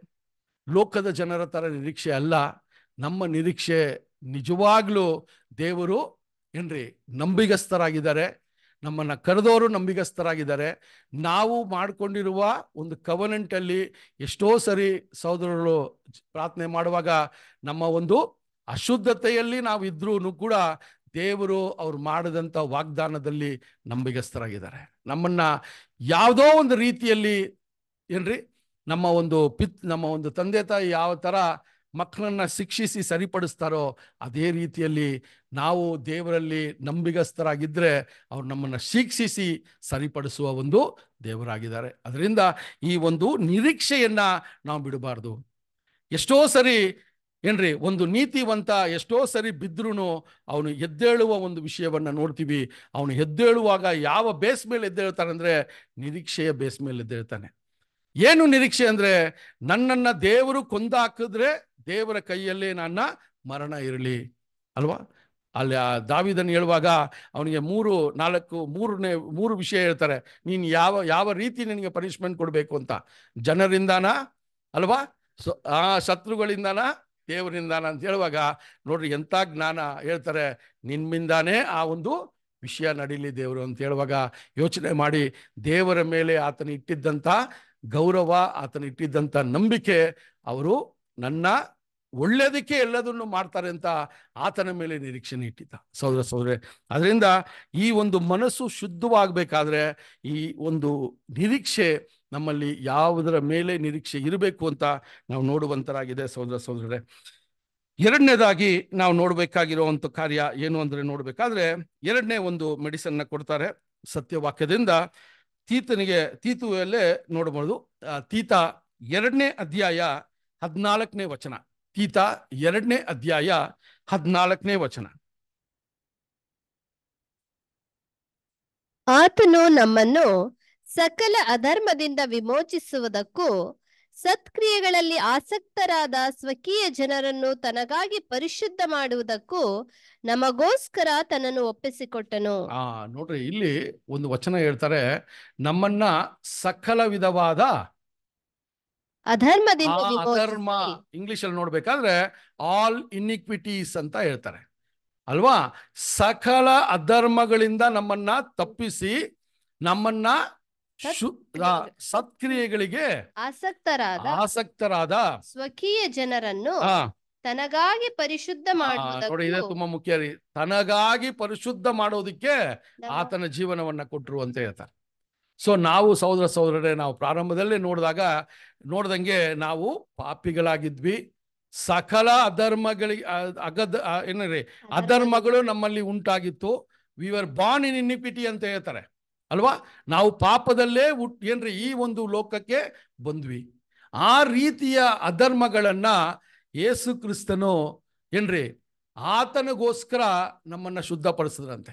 ಆತನ ಮೊದಲ ಗೆದ್ದಿಯಾಗಿ ದೇವರ ಮುಂದೆ ನಮ್ಮನ್ನು ನಿಲ್ಲಿಸೋದಿಕ್ಕೆ ನಮ್ಮನ್ನು ಶುದ್ಧಿಪಡಿಸೋದಿಕ್ಕೆ ಆ ಅಧರ್ಮದಿಂದ ನಮ್ಮನ್ನು ಏನು ಮಾಡಿದಾರಂತೆ. ತೆಗೆದಿರ ಅಂತ. ಸೊ ಇಡೀ ಲೋಕವು ಅಧರ್ಮದಲ್ಲಿತ್ತು. ಇದೆ. ಆ ರೀತಿ ಇರುವಾಗ ಆ ಲೋಕಕ್ಕೆ ಅವರು ಒಂದು ರ್ಯಾನ್ಸಮ್ನ ಕೊಟ್ಟರು ಆ ರ್ಯಾನ್ಸಮ್ ಎಫೆಕ್ಟು ಫಸ್ಟು ಸಭೆಗೆ. ಆ ಸಭೆ ಈಗ ಸಕಲ ಅಧರ್ಮಗಳಲ್ಲಿದ್ರೂ ಅದರಿಂದ ನಮ್ಮನ್ನು ಏನು ಮಾಡಿದ್ದಾರೆ? ಬೇರ್ಪಡಿಸಿದ್ದಾರೆ. ನಮ್ಮನ್ನ ಒಂದು ಜಸ್ಟಿಫೈಡ್ ಕಂಡೀಷನ್ ತಂದಿದ್ದಾರೆ. ಆ ಜಸ್ಟಿಫೈಡ್ ಕಂಡೀಷನ್ ಯಾವ ಯಾವ ರೀತಿ ಬಂತು ಅಂತ ನೋಡಬೇಕಾದ್ರೆ ಕ್ರಿಸ್ತನ ರ್ಯಾನ್ಸಮ್ ಇಂದಾನೆ. ಅದು ಬ್ರದರ್ಗಳು ನಮ್ಗೆ ಏನು ಮಾಡಿದ್ದಾರೆ? ಒಳ್ಳೆ ರೀತಿಯಲ್ಲಿ ಆ ಒಂದು ಬೇಸಿಕ್ಸ್ನೆಲ್ಲ ತಿಳಿಸ್ಕೊಟ್ಟಿದ್ದಾರೆ. ಅದರಿಂದ ಸಹೋದರ ಸಹೋದರರೇ, ಯೇಸು ಸ್ವಾಮಿ ನಮ್ಮನ್ನ ಬಿಡುಗಡೆ ಮಾಡಿದ್ದಾರೆ. ಈಸ್ ರಿಡೀಮ್ಡಸ್ ಅಂತ ಹೇಳ್ತೀವಿ. ಏನ್, ಏಂತರಿಂದ ನಮ್ಮನ್ನ ಬಿಡುಗಡೆ ಮಾಡಿದ್ದಾರೆ ಅಂತ ನೋಡಬೇಕಾದ್ರೆ ಸಹೋದರ ಸಹೋದರರೇ ನಮ್ಮನ್ನ ಮರಣದಿಂದ ಕಾಪಾಡೋದಕ್ಕೆ ಮಾತ್ರ ಬಿಡುಗಡೆ ಮಾಡಿಲ್ಲ, ನಮ್ಮನ್ನ ಪರಿಶುದ್ಧವಾಗಿ ಆತನ ಒಂದು ಏನ್ರಿ, ಆತನ ಒಂದು ಸ್ವರೂಪಕ್ಕೆ ಮಾರ್ಪಡೆ ಆಗೋದಕ್ಕೆ ನಮ್ಮನ್ನ ಬಿಡುಗಡೆ ಮಾಡಿದ್ದಾರೆ. ಅದೇ ತುಂಬಾ ಮುಖ್ಯವಾದದ್ದು. ಸೊ ಎರಡನೇದಾಗಿ ನಾನು ಏನು ನನ್ನ ಮನಸ್ಸಲ್ಲಿ ಯಾವಾಗಲೂ ತಿಳ್ಕೊಬೇಕಂದ್ರೆ, ನಾನು ಎಲ್ಲಾ ರೀತಿಯ ಪಾಪದಲ್ಲಿದ್ರೂ ಅಲ್ವಾ? ಯಾ, ಎಷ್ಟೋ ನನ್ನ ಮನಸ್ಸಲ್ಲಿ ಅಶುದ್ಧತೆಗಳಿದ್ರು ನನ್ನನ್ನು ಅದರಿಂದ ಬಿಡುಗಡೆ ಮಾಡೋದಕ್ಕೆ ಅವರು ಏನ್ರಿ ನನಗಾಗಿ ಸತ್ತಿದ್ದಾರೆ. ನನಗಾಗಿ ಜೀವವನ್ನು ಕೊಟ್ಟಿದ್ದಾರೆ. ಸೊ ನನ್ನ ಅಕ್ರಮ, ನನ್ನ ಒಂದು ಇನ್ಇಕ್ವಿಟಿನ ನನ್ನ ಒಂದು ಸ, ಏನ್ರಿ, ಆ ಒಂದು ಸಕಲ ಅಧರ್ಮಗಳನ್ನು ನಾನು ಯಾವಾಗಲೂ ಮನಸ್ಸಿಗೆ ತಂದ್ಕೋಬೇಕು. ಇದು ತಂದ್ಕೊಂಡಾಗ ಏನಾಗುತ್ತೆ ಅಂದರೆ ನನ್ನಲ್ಲಿ ಸೆಲ್ಫ್ ರೈಚಿಯಸ್ನೆಸ್ ಬರಲ್ಲ. ಅಲ್ವಾ? ಸುನೀತಿ, ಅಲ್ವಾ? ಹೇಳ್ತಾರಲ್ಲ? ಆ, ಅದು ಬರಲ್ಲ. ಯಾಕಂದ್ರೆ ಅದು ಯಾವಾಗ ಬರ್ತದೆ ಅಂದ್ರೆ ನಾನು ನನ್ನ ಪರಿಶುದ್ಧತೆ, ನನ್ನ, ನನ್ನಿಂದಾನೇ ಇದೆಲ್ಲ ಸಾಧ್ಯ. ನಾನು ಇದಕ್ಕೆ ಏನ್ ಮಾಡ್ತಾ ಇದ್ದೀನಿ ರೀ? ಆಗೋದೇ ಇಲ್ಲ ಸಹೋದರ, ಸಹೋದರರೇ. ಅಲ್ವಾ? ಅದಕ್ಕೆ ರಸಲ್ ಬ್ರದರ್ ಬರೆಯುವಾಗ ಒಂದು ಆರ್ಟಿಕಲ್ ಬರೀತಾರೆ ಸೆಲ್ಫ್ ರೈಚಿಯಸ್ನೆಸ್ ಇಸ್ ರಬ್ಬಿಶ್ ಅಂತ ಬರೀತಾರೆ.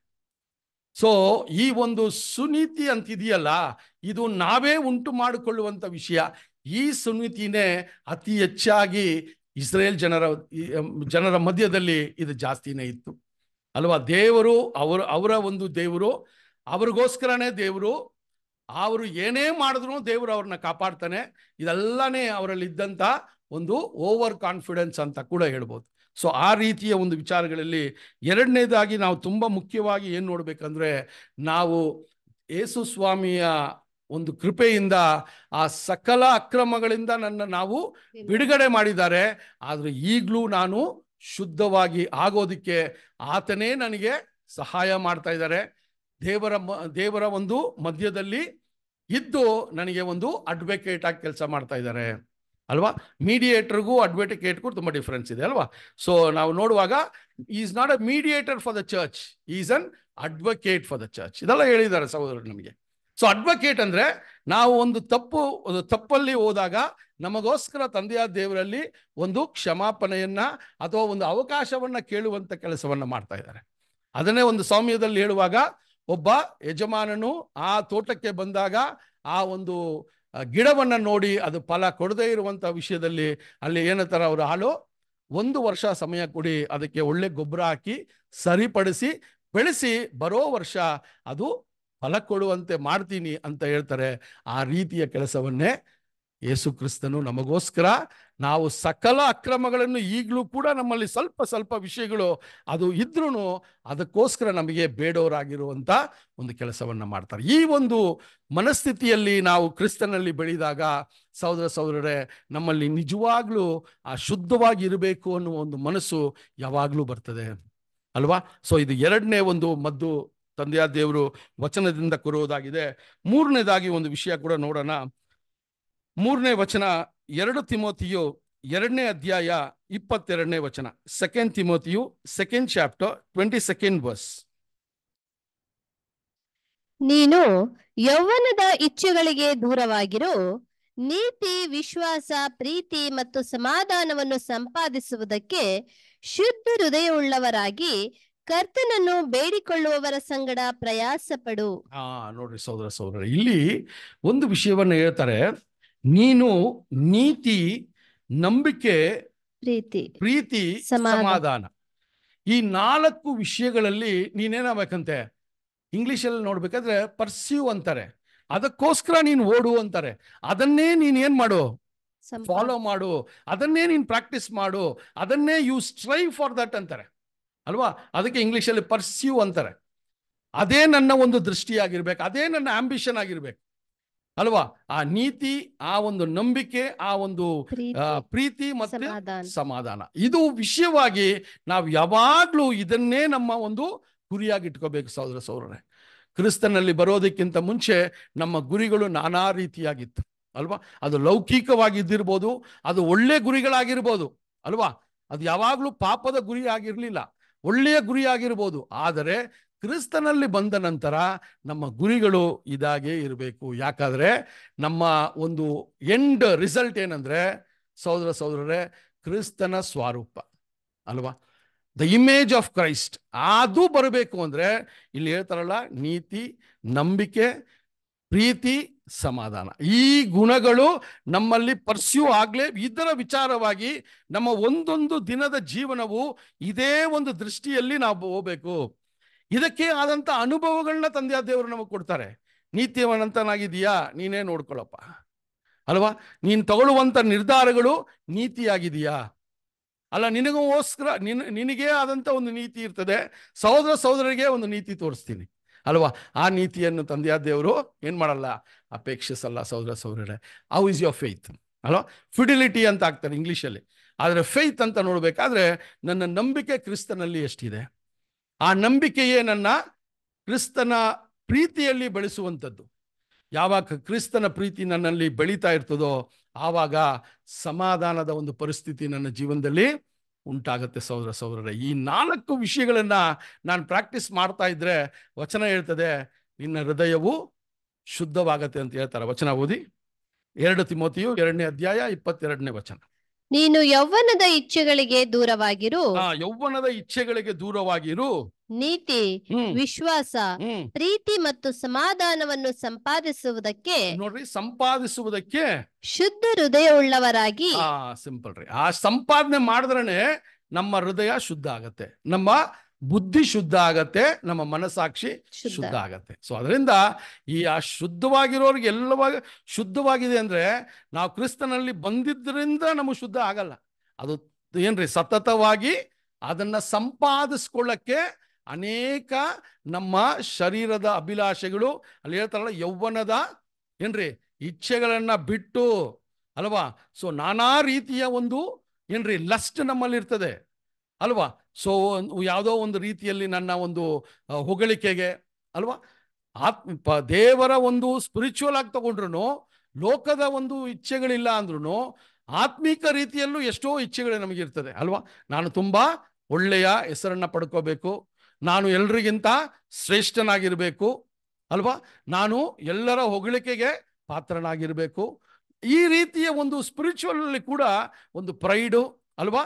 ಒಂದು ಯಾವುದೋ ರೀತಿಯ ಒಂದು ಆಂಬಿಷನ್ ನಮಗಿರ್ತದೆ ಆ ರೀತಿಯ ವಿಷಯಗಳನ್ನ ನೋಡುವಾಗ ಇಲ್ಲಿ ಹೇಳ್ತಾರೆ, ಈ ಒಂದು ನಾಲ್ಕು ಕಾರ್ಯಗಳು ನಮ್ಮಲ್ಲಿ ತುಂಬ ಮುಖ್ಯವಾಗಿ ನಡಿಬೇಕು ಸಹೋದರ ಸಹೋದರರೇ. ಸೊ ಯಾವ ವಿಷಯದಲ್ಲಿ ನಾನು ನೀತಿವಂತನಾಗಿರಬೇಕು ಅಂತ ನೋಡಬೇಕು. ಅಲ್ವಾ? ನಾನು ಈ ನೀತಿಯ ವಿಚಾರವಾಗಿ ಎಲ್ಲಿ ನಾನು ಒಂದು ಎಕ್ಸಾಂಪಲ್ನ ತಗೋಬೋದು ಅಥವಾ ಎಲ್ಲಿ ಈ ನೀತಿಯನ್ನ ಸರಿಯಾದ ಸ್ಟ್ಯಾಂಡರ್ಡ್ನ ನೋಡ್ಬೋದು ಅಂದ್ರೆ ನನ್ನ ಸಹೋದರ ಸಹೋದರರಲ್ಲಿ ಎಲ್ಲೂ ಇದನ್ನು ನೋಡಕ್ಕೆ ಸಾಧ್ಯವಿಲ್ಲ. ಯಾಕೆ ಅಂದ್ರೆ ಎಲ್ಲರೂ ಬಿದ್ದಿರುವ ಸ್ವಭಾವದಲ್ಲಿರೋದ್ರಿಂದ ಒಬ್ಬೊಬ್ಬರು ಒಂದೊಂದು ಬೆಳವಣಿಗೆಯಲ್ಲಿ ಇರ್ತಾರೆ ನೀತಿಯಲ್ಲಿ. ಅದರಿಂದ ತಂದೆಯಾದ ದೇವರು ಮತ್ತು ಯೇಸು ಕ್ರಿಸ್ತನು ಮಾಡಿದ ಮಾತುಗಳು ಆಡಿದ ಮಾತುಗಳು, ಅವರ ಯೇಸು ಸ್ವಾಮಿ ನಡೆದ ಒಂದು ಹಾದಿ ಇದರಲ್ಲಿ ನೀತಿಯನ್ನು ಹುಡುಕ್ಬೋದು ನಾನು. ಅಲ್ವಾ? ಸೊ ನೀತಿ ಅನ್ನುವ ಒಂದು ಪ್ರಶ್ನೆ ನನ್ನಲ್ಲಿ ಬಂದಾಗ ಯೇಸು ಕ್ರಿಸ್ತನ, ಏನ್ರಿ, ಜೀವಿತದಲ್ಲಿ ಅವರು ನಡೆದಂಥ ವಿಚಾರಗಳಲ್ಲಿ ನನ್ನ ನೀತಿಯನ್ನು ನಾನು ಕಲಿಬೋದು. ಆ ನಂಬಿಕೆಯನ್ನು ಕಲಿಬೋದು, ಅಲ್ವಾ? ಸಹೋದರ ಸಹೋದರರೇ ಸೊ ಈ ರೀತಿಯ ವಿಚಾರಗಳನ್ನು ನಾವು ನೋಡೋಣ. ಒಂದು ವಚನವನ್ನು ಓದೋಣ. Proverbs twenty second chapter. ಜ್ಞಾನೋಪದೇಶ, ಜ್ಞಾನೋ, ಜ್ಞಾನೋಕ್ತಿಗಳು ಇಪ್ಪತ್ತೆರಡನೇ ಅಧ್ಯಾಯ ಎಂಟರಿಂದ ಹನ್ನೊಂದು ವಚನಗಳು. Proverbs twenty second chapter eight to eleven. ಕೆಟ್ಟತನವನ್ನು ಬಿತ್ತುವವನು ಕೇಡನ್ನೇ ಕೊಯ್ಯುವನು. ಹೆಮ್ಮೆಯಿಂದ ಹಿಡಿದ ದಂಡವು ಅವನ ಕೈಯಿಂದ ಬಿದ್ದು ಹೋಗುವುದು. ದಯಾದೃಷ್ಟಿಯವನು ಆಶೀರ್ವಾದವನ್ನು ಪಡೆಯುವನು. ತನ್ನ ಅನ್ನವನ್ನು ಬಡವರಿಗೆ ಕೊಡುತ್ತಾನಲ್ಲವೇ? ಧರ್ಮ ನಿಂದಕನನ್ನು ಓಡಿಸಿಬಿಟ್ಟರೆ ಜಗಳವು ತೊಲಗುವುದು.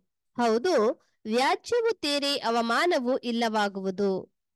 ನೋಡ್ರಿ ಸಹೋದರ ಸೌರ್ ಈ ವಚನವನ್ನ ಡೈರೆಕ್ಟ್ ಆಗಿ ನಾವು ತಗೊಂಡ್ರೆ ಅದಕ್ಕೆ ಅದರಲ್ಲಿ ನಮಗೆ ಅನೇಕ ರೀತಿಯ ಬುದ್ಧಿಪಾಠಗಳನ್ನ ನಾವು ನೋಡ್ತೀವಿ ಅಲ್ವಾ? ಪ್ರಾರಂಭದ ವಚನವನ್ನ ಓದೋಣ ಸಿಸ್ಟರ್ ಫಸ್ಟ್ ವರ್ಸ್ನ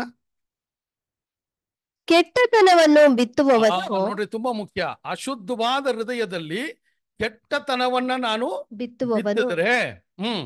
ಕೇಡನ್ನೇ ಕೊಯ್ಯುವನು. ಅಷ್ಟೇ. What you sow so you reap ಅಷ್ಟೇ.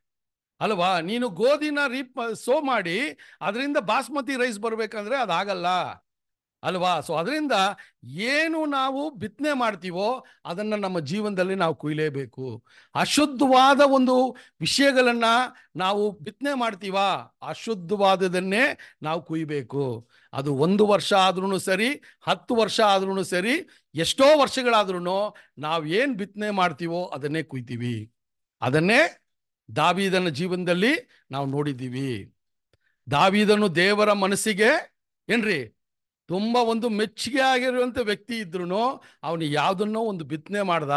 ಆ ಬಿತ್ತನೆಯ ಫಲವಾಗಿ ದೇವರು ಹೇಳ್ತಾರೆ, ಖಡ್ಗವು ನಿನ್ನ ಕುಟುಂಬವನ್ನ ಬಿಟ್ಟು ಹೋಗೋದೇ ಇಲ್ಲ ಅಂತ ಹೇಳೋದು ಅವನು ಕುಯ್ಯಿ ಕುಯ್ದಿದ್ದ ವಿಷಯಗಳು. ಅಸಮಾಧಾನದ ಪರಿಸ್ಥಿತಿ, ಸಂಕಷ್ಟದ ಪರಿಸ್ಥಿತಿ, ಮನೆಯೊಳಗೆ ಜಗಳಗಳು, ಇದೆಲ್ಲ ಯಾಕೆ ಅಂದರೆ ಅವರು ಪ್ರಾರಂಭದಲ್ಲಿ ಬಿತ್ತನೆ ಮಾಡಿದಂಥ ಅಶುದ್ಧತೆ ಅಶುದ್ಧೆಯ ವಿಷಯಗಳು.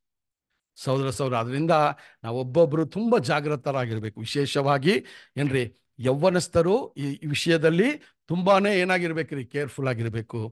ಅಲ್ವಾ? ಯೌವನಸ್ಥದಲ್ಲಿನೇ ಬಿತ್ತನೆಗಳು ಅತಿ ಹೆಚ್ಚಾಗಿ ಆಗತ್ತೆ. ಆ ಬಿತ್ತನೆಗಳನ್ನು ಯಾವ ರೀತಿ ಒಂದು ವಿಚಾರವಾಗಿ ಹಾಕ್ತೀವಿ ಒಳ್ಳೆ ಬಿತ್ತನೆಗಳನ್ನ ಹಾಕಿದ್ರೆ ಬಳುವಂತ ದಿನಗಳು ನಿಮಗೆ ಒಳ್ಳೆ ರೀತಿಯ ಫಲ ಕೊಡ್ತದೆ. ಅಲ್ವಾ? ಅಶುದ್ಧತೆಯ ಬಿತ್ತನೆಗಳನ್ನು ಮಾಡಿದ್ರೆ ಈಗ ತಾತ್ಕಾಲಿಕವಾಗಿ ಒಂದು ಸಂತೋಷವನ್ನು ಕೊಡ್ತದೆ ನಿಮಗೆ. ಆದರೆ ಅದು ಶಾಶ್ವತವಾದ ಸಂತೋಷ ಅಲ್ಲ.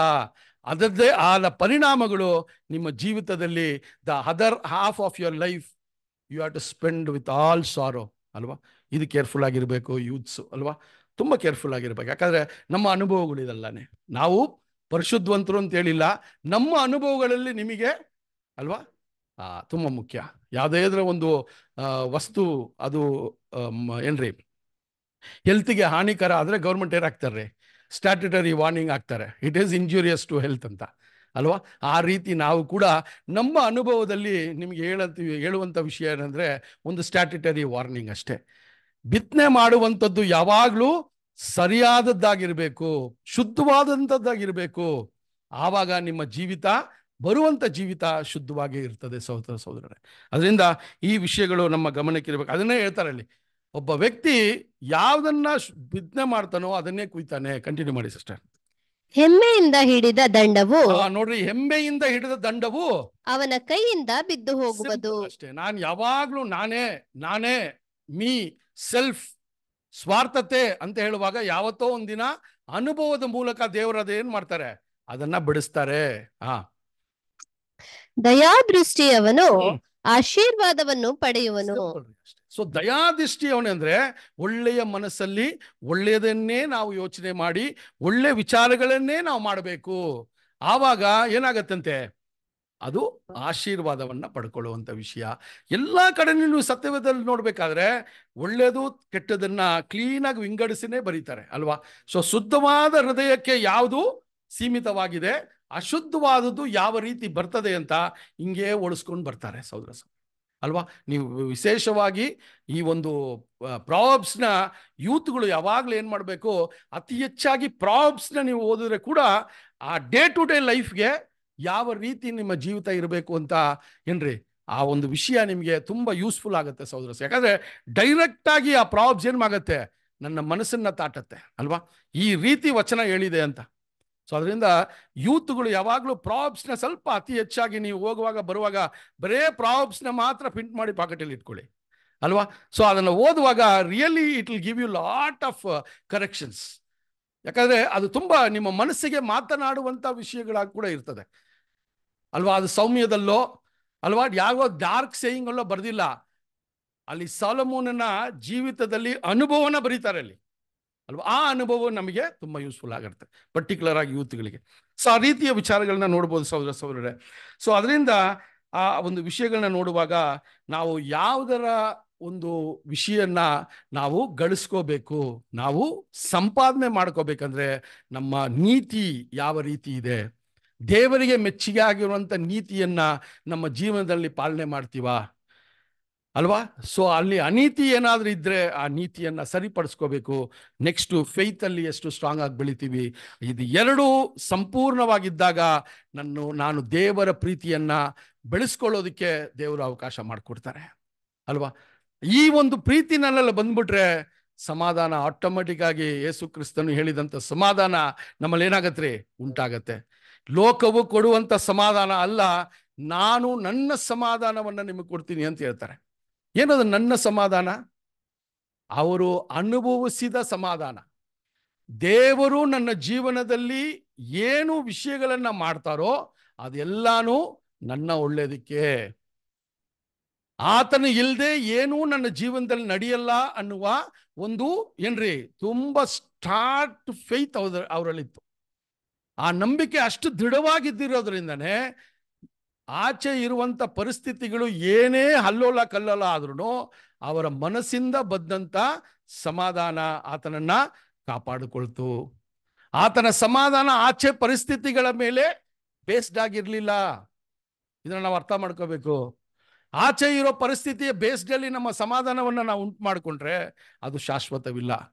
ಆಚೆ ಇರುವಂಥ ಪರಿಸ್ಥಿತಿಗಳು, ಅದು ನನ್ನ ಬ್ಯಾಂಕ್ ಬ್ಯಾಲೆನ್ಸ್ ಆಗಿರ್ಬೋದು, ನನ್ನ ಸಹೋದರರ ಏನ್ರಿ ಏನ್ರಿ, ನನ್ನ ಸಹೋದರ ಸಹೋದರಿಗಳ ಒಂದು ಸಂಬಂಧಗಳಿರ್ಬೋದು, ಅಲ್ವಾ?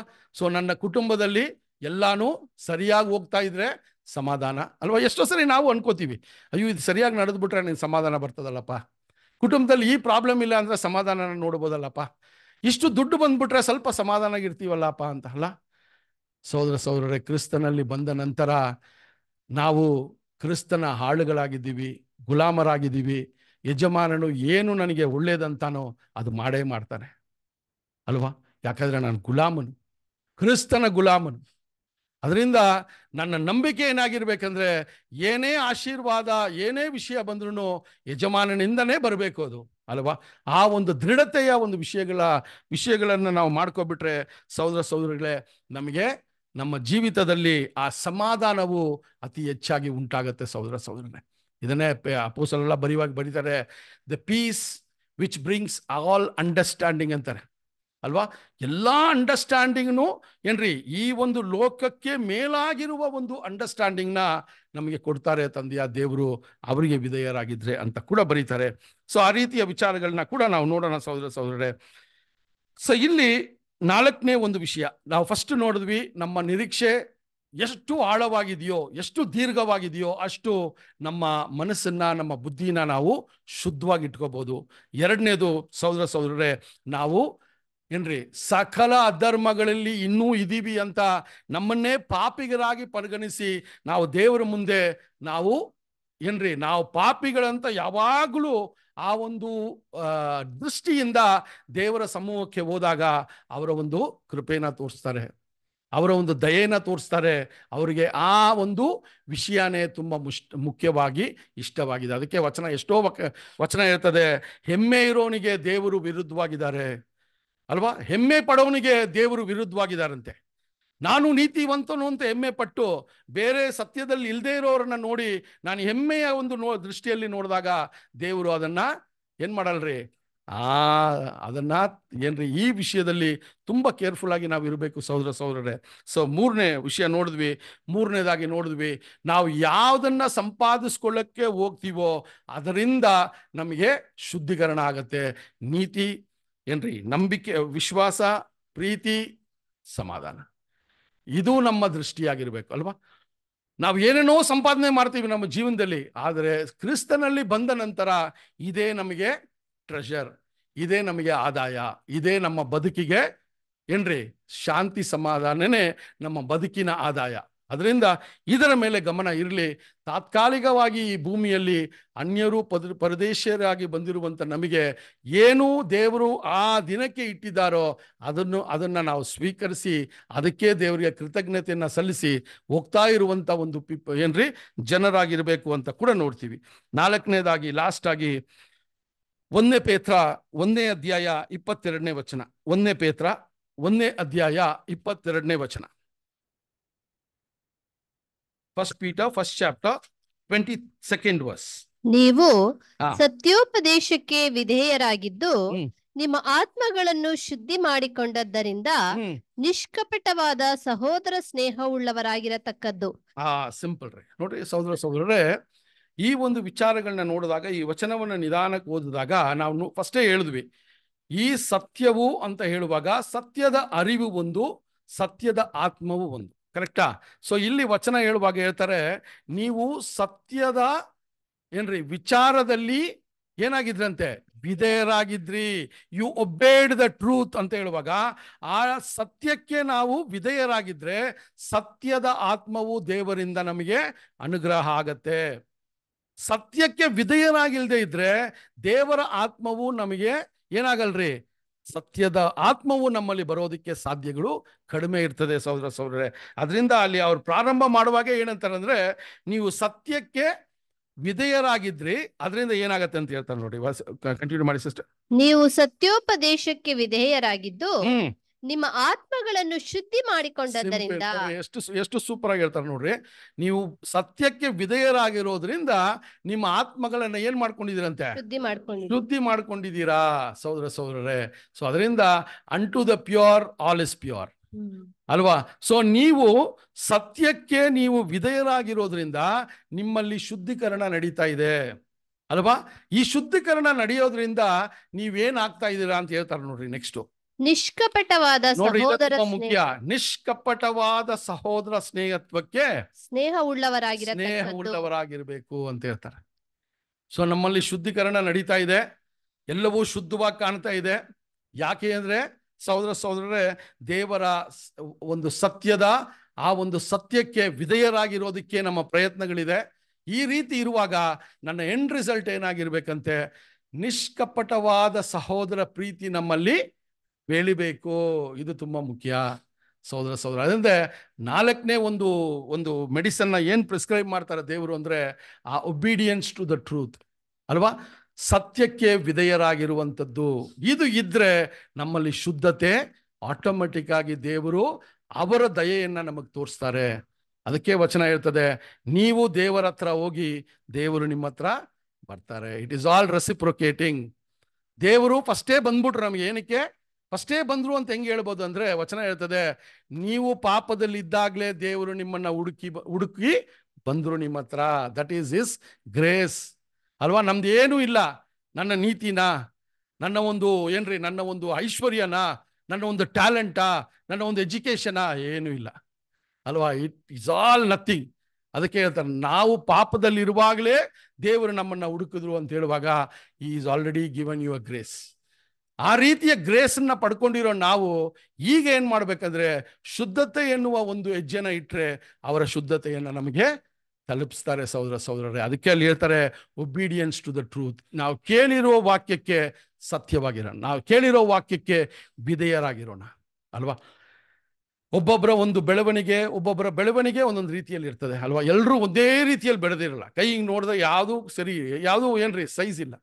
ಹಂಗಿರುವಾಗ ನಮ್ಮಲ್ಲಿ ಕೂಡ ನಮ್ಮದೇ ಆದಂಥ ಒಂದು ಏನ್ರಿ, ಒಂದು ಪರಿಜ್ಞಾನವು ನಮ್ಮದೇ ಆದಂಥ ಒಂದು ಬೆಳವಣಿಗೆ ದೇವರ ಒಂದು ಏನ್ರಿ, ಸೃಷ್ಟಿಯಲ್ಲಿ ಅದು ಹಂಗೆ ಇರ್ತದೆ. ಎಲ್ಲರೂ ಒಂದೇ ಟ್ಯಾಲೆಂಟೆಡ್ ಆಗಿರಲ್ಲ ಎಲ್ಲರೂ ಒಂದೇ ಇಂಟೆಲಿಜೆಂಟ್ ಆಗಿರಲ್ಲ, ಅಲ್ವಾ? ಸ್ವಲ್ಪ ಏರುಪಾರುಗಳಿರ್ತದೆ ಆ ಒಂದು ಏರುಪಾರುಗಳಲ್ಲಿ ನಾವು ಏನಾಗಿರ್ಬೇಕಂತೆ? ಟ್ರೂತ್ಫುಲ್ ಆಗಿರ್ಬೇಕು ದೇವರಿಗೆ ಅಷ್ಟೇ. ಅಯ್ಯೋ, ಆ ಸಹೋದರನು ತುಂಬ ಇಂಟೆಲಿಜೆಂಟ್ ಆಗಿದ್ದಾನೆ.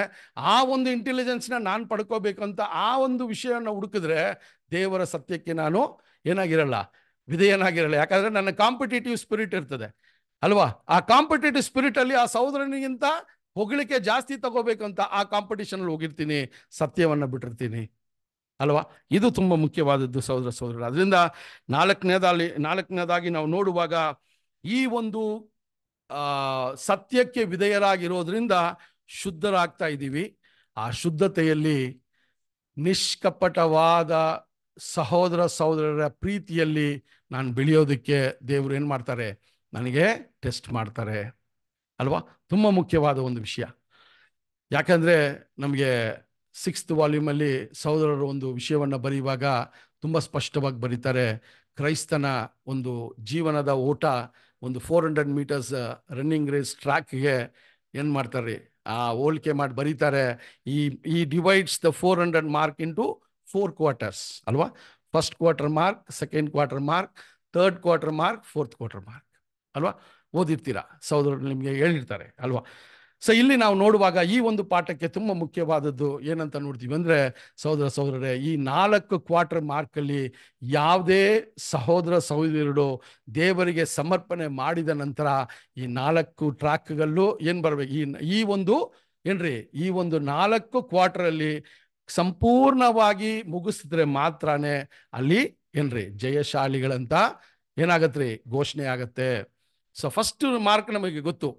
It is all duty love ಅಲ್ವಾ? ದೇವರು ನನಗೆ ಇದು ಮಾಡಿದ್ದಾರೆ ಅವ್ರಿಗೆ ಏನೋ ಒಂದು ಮಾಡಬೇಕು. ದೇವರು ನನ್ನ ಜೀವನದಲ್ಲಿ ಏನೋ ನಾನು ಕೇಳಿರೋ ಕೋರಿಕೆಗೆ ಅವರು ಏನ್ರಿ, ಕಿವಿ ಕೊಟ್ಟು ನನಗೆ ಅದು ಮಾಡಿಸಿದ್ದಾರೆ, ನಾನು ಡಂಬಾಕ್ಸಲ್ಲಿ ಹತ್ತು ಸಾವಿರ ರೂಪಾಯಿ ಹಾಕ್ತೀನಿ ಅಂತ. ಇದು ಡ್ಯೂಟಿ ಡ್ಯೂಟಿ ಲವ್ ಅಲ್ವಾ? ಎರಡನೇದು ಏನು ಅಂತ ನೋಡ್ಬೇಕಾದ್ರೆ ನಮ್ಮ ಬೆಳವಣಿಗೆಯಲ್ಲಿ ನಿಧಾನಕ್ಕೆ ಈ ಡ್ಯೂಟಿ ಲವ್ ಏನಾಗುತ್ತೆ ಅಂದರೆ ದೇವರು ನಮಗೆ ಮಾಡಿರುವಂಥ ಸತ್ತುಪಕಾರಗಳನ್ನ ನಾವು ನೆನೆಸ್ಕೊಂಡು ನಾವು ಇಷ್ಟೆಲ್ಲ ಪಾಪಿಗಳಾಗಿದ್ರು ನನ್ನನ್ನು ಇಷ್ಟೆಲ್ಲ ಪ್ರೀತಿ ಮಾಡಿ ನನ್ನನ್ನು ಶುದ್ಧೀಕರಣ ಮಾಡ್ತಾರ ಅಂತ ಹೇಳಿ ಆ ಒಂದು ಪ್ರೀತಿಯಲ್ಲಿ ಆ ಒಂದು, ಏನ್ರಿ ಆ ಒಂದು ಪ್ರೀತಿಯ ಭಾವನೆಯಿಂದ ದೇವರನ್ನ ನಾವು ಸ್ವೀಕಾರ ಮಾಡ್ತೀವಲ್ಲ, ಇದು ಎರಡನೇ ಕ್ವಾರ್ಟರ್ ಮಾರ್ಕ್. ಇದು ಬೆಳಿಬೇಕು ನಿಧಾನಕ್ಕೆ ಅಲ್ವಾ? ಡ್ಯೂಟಿ ಲವ್ ನಾವು ಏನ್ರಿ ನಾವು ಕ್ರೈಸ್ತರಾಗಿ ಬೇರೆ ಬೇರೆ ಒಂದು ನಂಬಿಕೆಯಲ್ಲಿ ಇದ್ದಾಗಲೇ ಈ ಡ್ಯೂಟಿ ಲವ್ ನಮಗಿತ್ತು ಅತಿ ಹೆಚ್ಚಾಗಿ, ಅಲ್ವಾ? ಡ್ಯೂಟಿ ಲವ್ ಇತ್ತು. ಏನಂದರೆ ತೈತ್ ಕೊಟ್ಬಿಡ್ಬೇಕು. ಏನಂದರೆ, ನಾನು ದೇವರು ನಮಗೆ ಆ ತೈತ್ ಕೊಟ್ರೇ ಏನು ಮಾಡ್ತಾರೆ ದೇವರು? ಅವರು ಆಶೀರ್ವಾದ ಮಾಡ್ತಾರೆ ಅಂತ ಡ್ಯೂಟಿ ಲವ್ ಆಗೇ ಹೋಗ್ತಾ ಇದ್ವಿ. ಆ ತೈತನ್ನು ಕೊಟ್ಟದೇ ಇದ್ರೆ ನನಗೆ ಆಶೀರ್ವಾದವು ಎಲ್ಲೋ ಒಂದು ಕಡೆ ಏನಾಗತ್ರಿ? ಕಡಿಮೆ ಆಗ್ಬಿಡ್ತದೆ. ಇದು ಅನ್ಯ ಜನರು ಕೂಡ ಇದನ್ನೇ ಮಾಡ್ತಾರೆ, ಅಲ್ವಾ? ತಿರುಪತಿಯಲ್ಲಿ ಏನ್ರಿ, ಆ ತಿರುಪತಿ ಉಂಡಿಯಲ್ಲಿ ದುಡ್ಡು ಎಷ್ಟು ಸೇರ್ತದೆ ಅಂದ್ರೆ ಅದು ಲೆಕ್ಕ ಹಾಕಕ್ಕೆ ಐವತ್ತು ಜನ ಕೆಲಸ ಮಾಡ್ತಾರೆ, ಅಲ್ವಾ? ಫಸ್ಟ್ ರೆವಿನ್ಯೂ ಜನರೇಟ್ ಆಗೋದು ಒಂದು ವ್ಯಾಟಿಕ್ಯಾನು ಎರಡನೇದು ತಿರುಪತಿ, ಅಲ್ವಾ? ಫಸ್ಟ್ ವ್ಯಾಟಿಕ್ಯಾನ್ ರೋಮ್ ಎರಡನೇದು ತಿರುಪತಿ. ಏನಪ್ಪಾ ಅಂದ್ರೆ, ಅವರ ಆಶೀರ್ವಾದವು ಎಲ್ಲಿ ಕಳ್ಕೋತೀವಿ ಅಂತ ದೇವರಲ್ಲಿ ತಗೊಂಡೋಗಿ ಯಾವ ಅನೀತಿಯಾಗಿ ಬಂದಿರೋ ದುಡ್ಡನ್ನು ಅಲ್ಲೇ ಹಾಕೋದು. ಯಾಕಂದ್ರೆ ದೇವರ ಆಶೀರ್ವಾದ ಇರ್ತದೆ ಅಂತ, ಅಲ್ವಾ? ಇದು ನಮ್ಮ ಒಂದು ಜೀವನದಲ್ಲೂ ಕೂಡ ಸ್ವಲ್ಪ ಹಂಗೆ ಅದೇ ರೀತಿ ಇಲ್ಲದೆ ಇದ್ರು ಒಂದು ಹತ್ತು ರೂಪಾಯಿ ಆದರೂ ಹಾಕ್ಬೇಕಾದ್ರೆ ದೇವ್ರನ್ನ ಏನೋ ಒಂದು ಒಳ್ಳೇದು ಮಾಡಿರಬೇಕು ಅಂತ ನನಗೆ ಯಾವಾಗಲೂ ಇತ್ತು. ಆದರೆ ಎರಡನೇ ಸರಿ, ಎರಡನೇ ಒಂದು ವಿಷಯ ಬಂದಾಗ ದೇವರು ಆತನ ಕುಮಾರನನ್ನ ಕೊಟ್ಟು, ಆತ ಮಗನನ್ನು ಕೊಟ್ಟು, ನನಗೋಸ್ಕರ ಆ ಜೀವವನ್ನ ಕೊಟ್ಟು ನನ್ನ ಒನ್, ನನ್ನ ಒಂದು ವಿಷಯದಲ್ಲಿ ಶ್ರೇಷ್ಠವಾದ ಮಾರ್ಗಕ್ಕೆ ನಾನು ಬರಬೇಕು ಅಂತ ಇಷ್ಟು ತ್ಯಾಗ ಮಾಡಿದಾರ? ಯೇಸು ಸ್ವಾಮಿ ಕೂಡ ದೇವರಿಗೆ ವಿಧೇಯರಾಗಿದ್ದು ಅವರ ಜೀವವನ್ನು ಕೊಟ್ಟುಬಿಟ್ರ ಈ ಭೂಮಿಯಲ್ಲಿ. ಇದೆಲ್ಲ ಯಾವಾಗ ನಾನು ತುಂಬ ಒಂದು ಆಸಕ್ತಿಯಿಂದ ಅಥವಾ ತುಂಬ ಒಂದು ಮನಸ್ಸಿನಿಂದ ನೋಡ್ತೀನೋ ಆವಾಗ ಸೆಕೆಂಡ್ ಕ್ವಾರ್ಟರ್ ಮಾರ್ಕಲ್ಲಿ ನನ್ನ ಪ್ರೀತಿ ದೇವರ ಮೇಲೆ ಹೆಚ್ಚಾಗತ್ತೆ. ಥರ್ಡ್ ಕ್ವಾರ್ಟರ್ ಮಾರ್ಕ್ನೇ ಈ ಒಂದು ವಿಷಯದಲ್ಲಿ ನೋಡ್ತಾ ಇದ್ದೀವಿ ಸಹೋದರ ಸಹೋದರರೇ. ನಿಷ್ಕಪಟವಾದ ಸಹೋದರ ಪ್ರೀತಿ. ಅಲ್ವಾ? ಈ ಮೂರನೇ ಕ್ವಾರ್ಟರ್ ಮಾರ್ಕಲ್ಲೇ ಸಹೋದರರು ಬರೀತಾರೆ, ಅತಿ ಹೆಚ್ಚಾದ ಸಹೋದರ ಸಹೋದರಿಯರು ಇಲ್ಲೇ ನಿಂತ್ಕೋತಾರೆ. ನಾಲ್ಕನೇ ಕ್ವಾರ್ಟರ್ ಮಾರ್ಕ್ ಹೋಗೋದು ತುಂಬ ಕಡಿಮೆ ಆಗಿರ್ತಾರೆ ನಮ್ಮಲ್ಲಿ ಅಂತ ಬರೀತಾರೆ.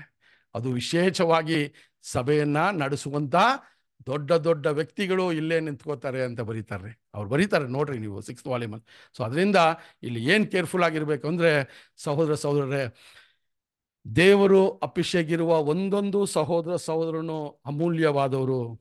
ದೇವರಿಂದ ಹಾರಿಸ್ಕೊಂಡಿರೋರು. ನಮ್ಮ ಒಂದು ಪ್ರಯ, ನಮ್ಮ ಒಂದು ಏನ್ರಿ, ನಮ್ಮ ಒಂದು ಸಾಮರ್ಥ್ಯದಿಂದ, ನಮ್ಮ ಒಂದು ಟ್ಯಾಲೆಂಟಿಂದ ಇವರೆಲ್ಲ ಬಂದಿಲ್ಲ. ದೇವರು ಆರಿಸ್ಕೊಂಡಿರೋ ವ್ಯಕ್ತಿಗಳಿಗೆ ಅದೇ ಗೌರವವನ್ನು ಕೊಡಬೇಕು. ಅದು ಏನ್ರಿ, ವಯಸ್ಸಲ್ಲಾಗಿರಲಿ ಅಥವಾ ದುಡ್ಡಲ್ಲಾಗಿರಲಿ ಐಶ್ವರ್ಯವಂತಿಕೆ ಆಗಿರಲಿ ಅಲ್ವಾ? ಎಲ್ಲದರಲ್ಲೂ ಎಲ್ಲ ಸೈಡಿಗೆ ತಳ್ಳಿಬಿಟ್ಟು ಅಭಿಷೇಕದ ವಿಷಯದಲ್ಲಿ ಎಲ್ಲರೂ ಒಂದೇ ರೀತಿಯಲ್ಲಿ ಭಾವಿಸೋದಕ್ಕೆ ಅದಕ್ಕೆ ಹೇಳ್ತಾರೆ, ನಿಷ್ಕಪಟವಾದ ಅಂತ ಒಂದು ವಾಕ್ಯ ಯೂಸ್ ಮಾಡ್ತಾರೆ ಅಲ್ಲಿ. ಅಲ್ವಾ? ಭೇದ ಭಾವ ಇಲ್ಲದೆ. ಅಲ್ವಾ? ಇದೆಲ್ಲ ನೀವು ವಚನದಲ್ಲಿ ನೋಡುವಾಗ ಕ್ರೈಸ್ಟ್ ಹೇಳಿರೋ ಮಾತುಗಳು ಇದೆಲ್ಲ. ಕ್ರೈಸ್ಟು ಸಿಂಪಲ್ ಆಗಿ ಒಂದು ವರ್ಡಲ್ಲಿ ಹೇಳಿರ್ತಾರೆ ಅಪೋಸ್ಟ್ಲರ್ ಅದನ್ನ ಏನು ಮಾಡಿದ್ರು? ಇನ್ನು ಸ್ವಲ್ಪ ನಮಗೆ ವಿಂಗಡಿಸಿ ಬರೆದ್ರು ಅಷ್ಟೇ. ಅಲ್ಲಿ ಕ್ರೈಸ್ಟ್ ಹೇಳುವಾಗ ಹೇಳ್ತಾರೆ ಸೌದರ ಸೌರರೇ ನೋಡುವಂತ, ನೋಡದೆ ಇರುವಂತ ದೇವ್ರನ್ನೇ ನೀನು ಪ್ರೀತಿಸ್ತೀಯಾ ಅಂತೀಯಾ? ನೋಡದೆ ಇರೋ, ಏನ್ರಿ? ಆ ಆ, ನೋಡ್ರಿ. ನೋಡದೆ ಇರೋ ದೇವ್ರನ್ನ ನಾನು ಪ್ರೀತಿಸ್ತೀಯಾ ಅಂತ ನೀನು ಪ್ರಚಾರ ಮಾಡ್ತೇನೆ ಇದೆಯಾ? ನೋಡುವಂತ ಸಹೋದರ ನಾನು ಪ್ರೀತಿಸದೇ ಇದ್ರೆ ಎಷ್ಟು ಮಾತ್ರ? ಅದನ್ನೇ ಕ್ರೈಸ್ಟ್ ಹೇಳಿದ್ದು. ಅದನ್ನೇ ಇಲ್ಲಿ ಅಪೋಸ್ಟಲರು ಬರೆಯುವಾಗ ಆ ಪ್ರೀತಿಯ ಆಳವನ್ನು ಇಲ್ಲಿ ಬರೀತಾರೆ. ನಿಷ್ಕಪಟವಾದ ಒಂದು ಪ್ರೀತಿ ಅಂತ ಸೌದರ ಸೌದರೇ ಅಲ್ಲಿ ಬರೆಯುವಂಥದ್ದಾಗಿದೆ ಸೌದರ ಸೌರ ಅದರಿಂದ ಈ ನಾಲ್ಕನೇ ಕ್ವಾರ್ಟರ್ ಮಾರ್ಕಲ್ಲಿ ನಾವು ತುಂಬ ಕೇರ್ಫುಲ್ ಆಗಿರಬೇಕು. ಒಂದು ವೇಳೆ ನಾವೆಲ್ಲ ಬೆಳೆದು ಈ ಮೂರನೇ ಕ್ವಾರ್ಟರ್ ಮಾರ್ಕಲ್ಲಿ ಇದ್ರೆ ಒಂದೊಂದು ದಿನಾನು ದೇವರು ಈ ಟೆಸ್ಟನ್ನು ನಮಗೆ ಕೊಡ್ತಾನೇ ಇರ್ತಾರೆ. ಯಾವ ರೀತಿಯಲ್ಲಿ ನಿಷ್ಕಪಟವಾದ ಒಂದು ಪ್ರೀತಿ ಸಹೋದರ ಪ್ರೀತಿಯಲ್ಲಿ ನಾನು ಬೆಳಿತೀನಿ ಅಂತ ಡೈಲಿ ನನಗೆ ಇದೇ ಲೆಸನು ಇದೇ ಪಾಠ, ಇದೇ ರಿಸಲ್ಟ್ ಅಲ್ವಾ?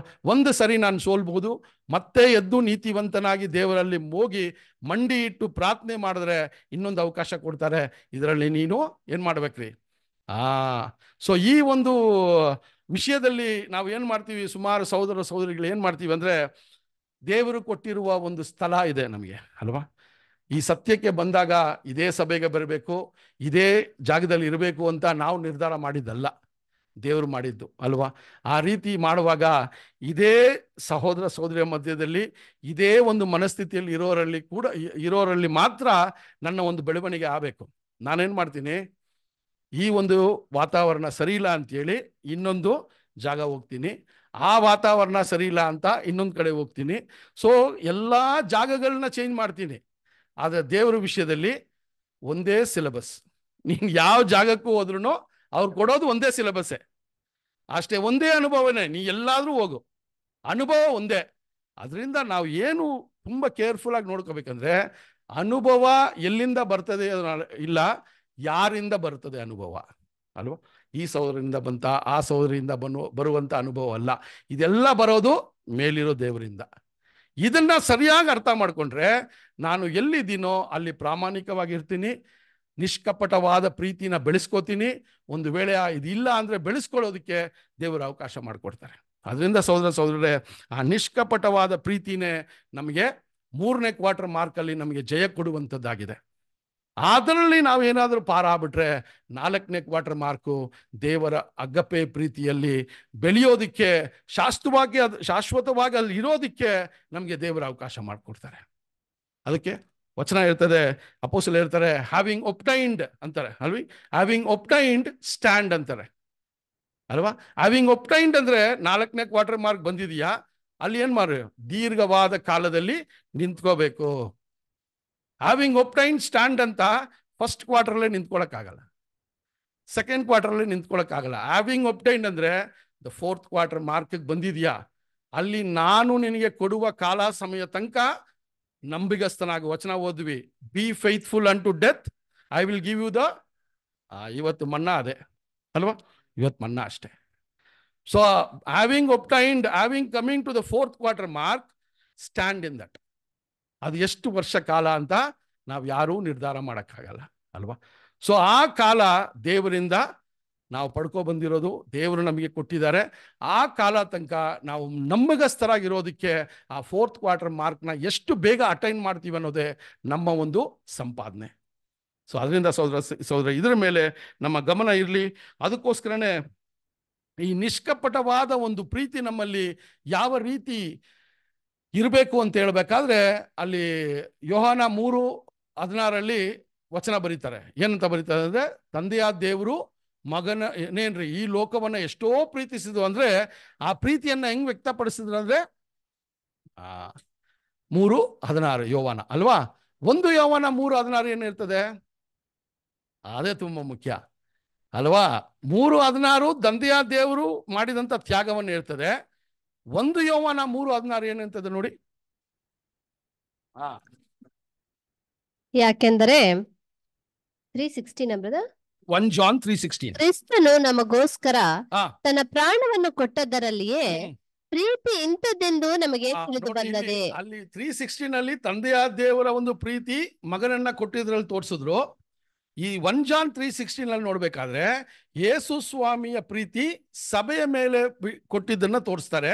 ಅದಕ್ಕೆ ಪ್ರತಿಕ್ರಿಯೆಗಳೇ ನಾವು ಏನ್ ಮಾಡ್ಬೇಕು ಅಂತ ಹೇಳ್ತಾರೆ ನೋಡ್ರಿ. ನಾವು ಸಹ ನಾವು ಸಹ ಸಹೋದರರಿಗೋಸ್ಕರ ನಮ್ಮ ಪ್ರಾಣಗಳನ್ನು ಕೊಡುವ ಹಂಗಿನಲ್ಲಿದ್ದೇವೆ. ಅಷ್ಟೇ ರೀ. ತುಂಬಾ ಮುಖ್ಯ ಅಲ್ವಾ?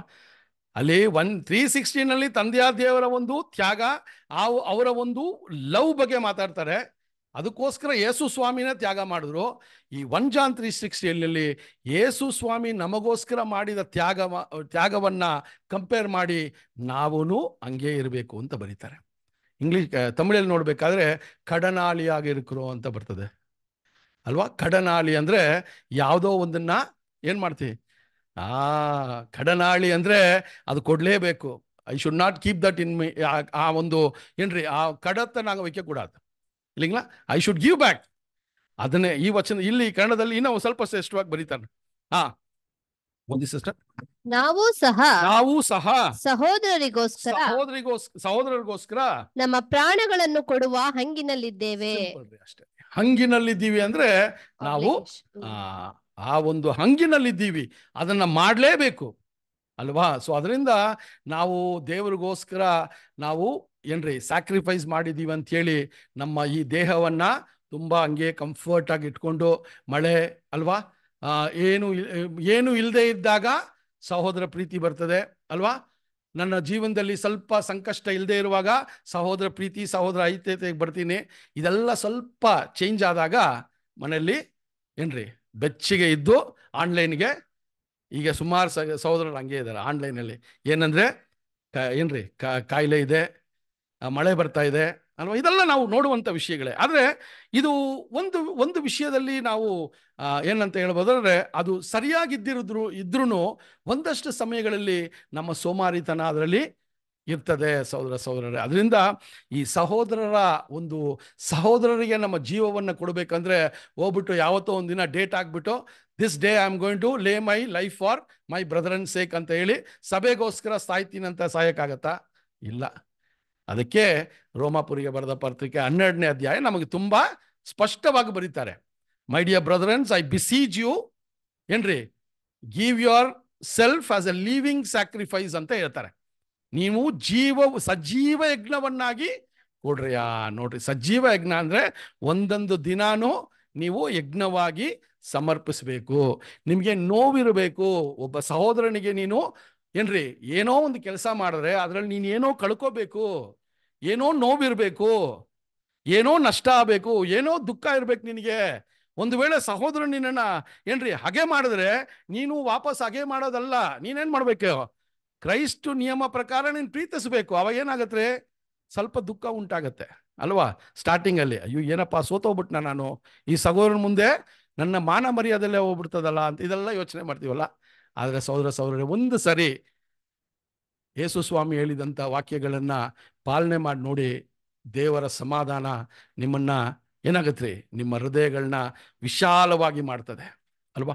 ಅದನ್ನು ಮಾಡೋಕ್ಕೆ ನಾವು ಪ್ರಯತ್ನ ಮಾಡಲ್ಲ. ಒಂದು ಸರಿ ಮಾಡಿ ನೋಡಿ, ಯಾರ ಸಹೋದರರು ನಿಮ್ಮನ್ನು ನಿಮ್ಮನ್ನು ಏನು ಮಾಡ್ತಾರೆ? ಹಾಗೆ ಮಾಡ್ತಾರೋ, ಅವ್ರ ಹತ್ರ ಹೋಗ್ಬಿಟ್ಟು ಒಂದು ಸರಿ ನೀವು ಮಾತನಾಡಿ, ಅವ್ರಿಗೆ ಒಳ್ಳೆ ವಿಚಾರಗಳನ್ನ ಆಗಲಿ ಅಂತ ಹೇಳಿ ಅವ್ರಿಗೆ ಅವ್ರಿಗೆ ನೀವು ಪ್ರಾರ್ಥನೆ ಮಾಡಿ ಆ ಯಾರೂ ಈ ಲೋಕದಲ್ಲಿ ಕೊಡದೇ ಇರುವಂತ ಸಮಾಧಾನ ನಿಮ್ಮನ್ನ ಏನು ಮಾ ಸಿಂಪಲ್ ರೀ ಅಷ್ಟೇ. ಇದು ಟ್ರೈ ಮಾಡ್ಬೇಕು ನಾವು. ಟ್ರೈ ಮಾಡಲ್ಲ ನಾವು ಅಷ್ಟೇ ಪ್ರಾಬ್ಲಮ್ ಸೊ ಅದರಿಂದ ಸಹೋದರ ಸಹೋದರರೇ, ಈ ವಿಷಯಗಳೆಲ್ಲ ನಾವು ನೋಡೋಣ. ಈ ಒಂದು ಸಹೋದರರ ಪ್ರೀತಿಯ ಬಗ್ಗೆ ಅನೇಕ ವಿಷಯಗಳ, ವಿಚಾರಗಳಲ್ಲಿ ಬರೀತಾರೆ. ಅಪೋಸಲ್ ಪೌಲೆಲ್ಲ ನೋಡ್ಬೇಕಾದ್ರೆ ಹೇಳ್ತಾರೆ, ನಾವು ದೇವರಿಂದ ಕಂಫರ್ಟ್ನ ಪಡ್ಕೊಂಡಿದ್ದೀವಿ ಆ ಕಂಫರ್ಟ್ನ ನಿಮಗೆ ಕೊಡ್ತೀವಿ ಅಂತ ಹೇಳ್ತಾರೆ. ಯಾಕಂದ್ರೆ ಸಭೆಗೆ ಅವ್ರು ಮಾಡಿದಂಥ ಏನ್ರಿ? ಸತ್ಕಾರ್ಯಗಳೇ ಈ ದಿನದಲ್ಲಿ ನಾವು ಬಂದು ಇಲ್ಲಿ ಕೂತಿದ್ದೀವಿ.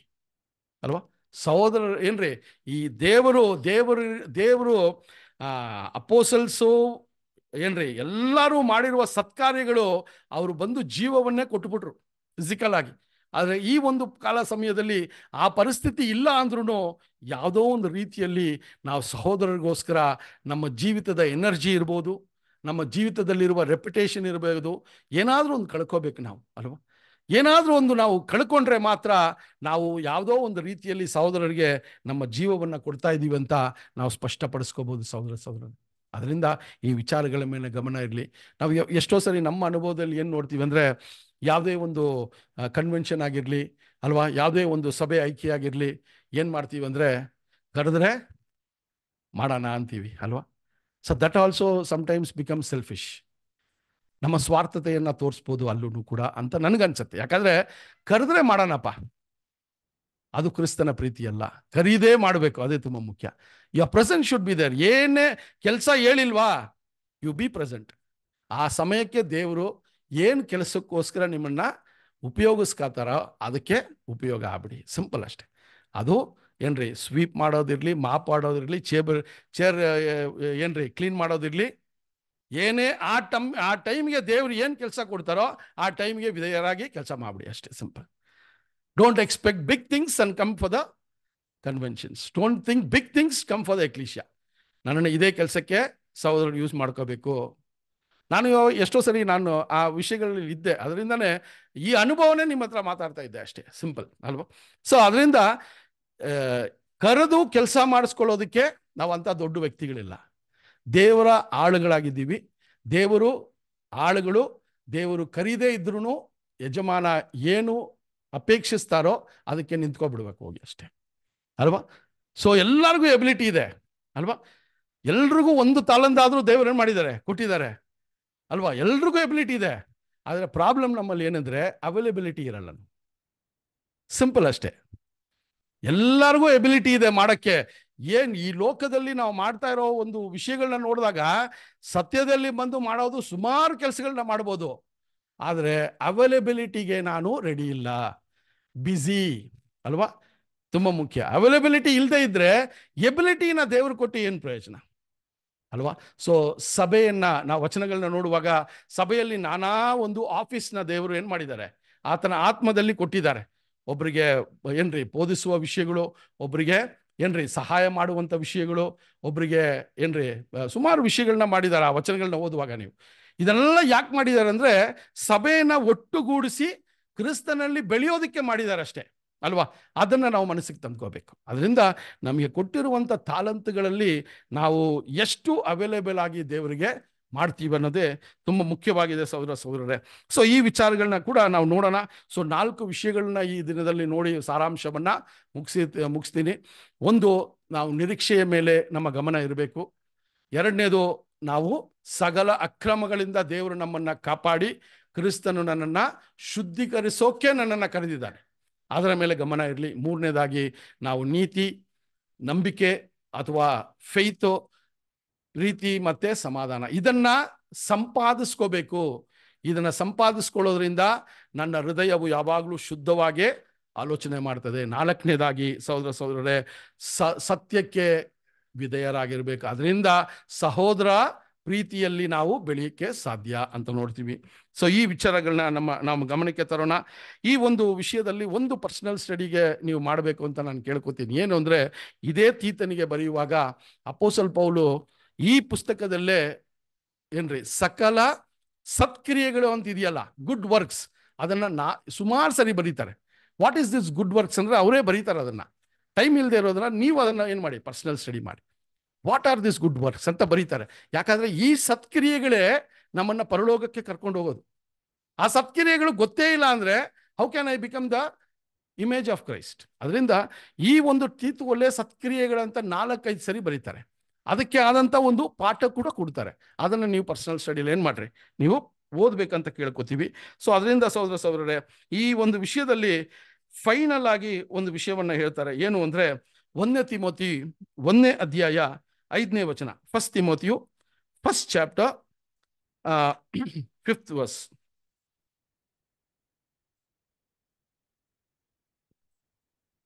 ಒಂದನೇ ತಿಮೋತಿ ಒಂದನೇ ಅಧ್ಯಾಯ ಐದನೇ ವಚನ.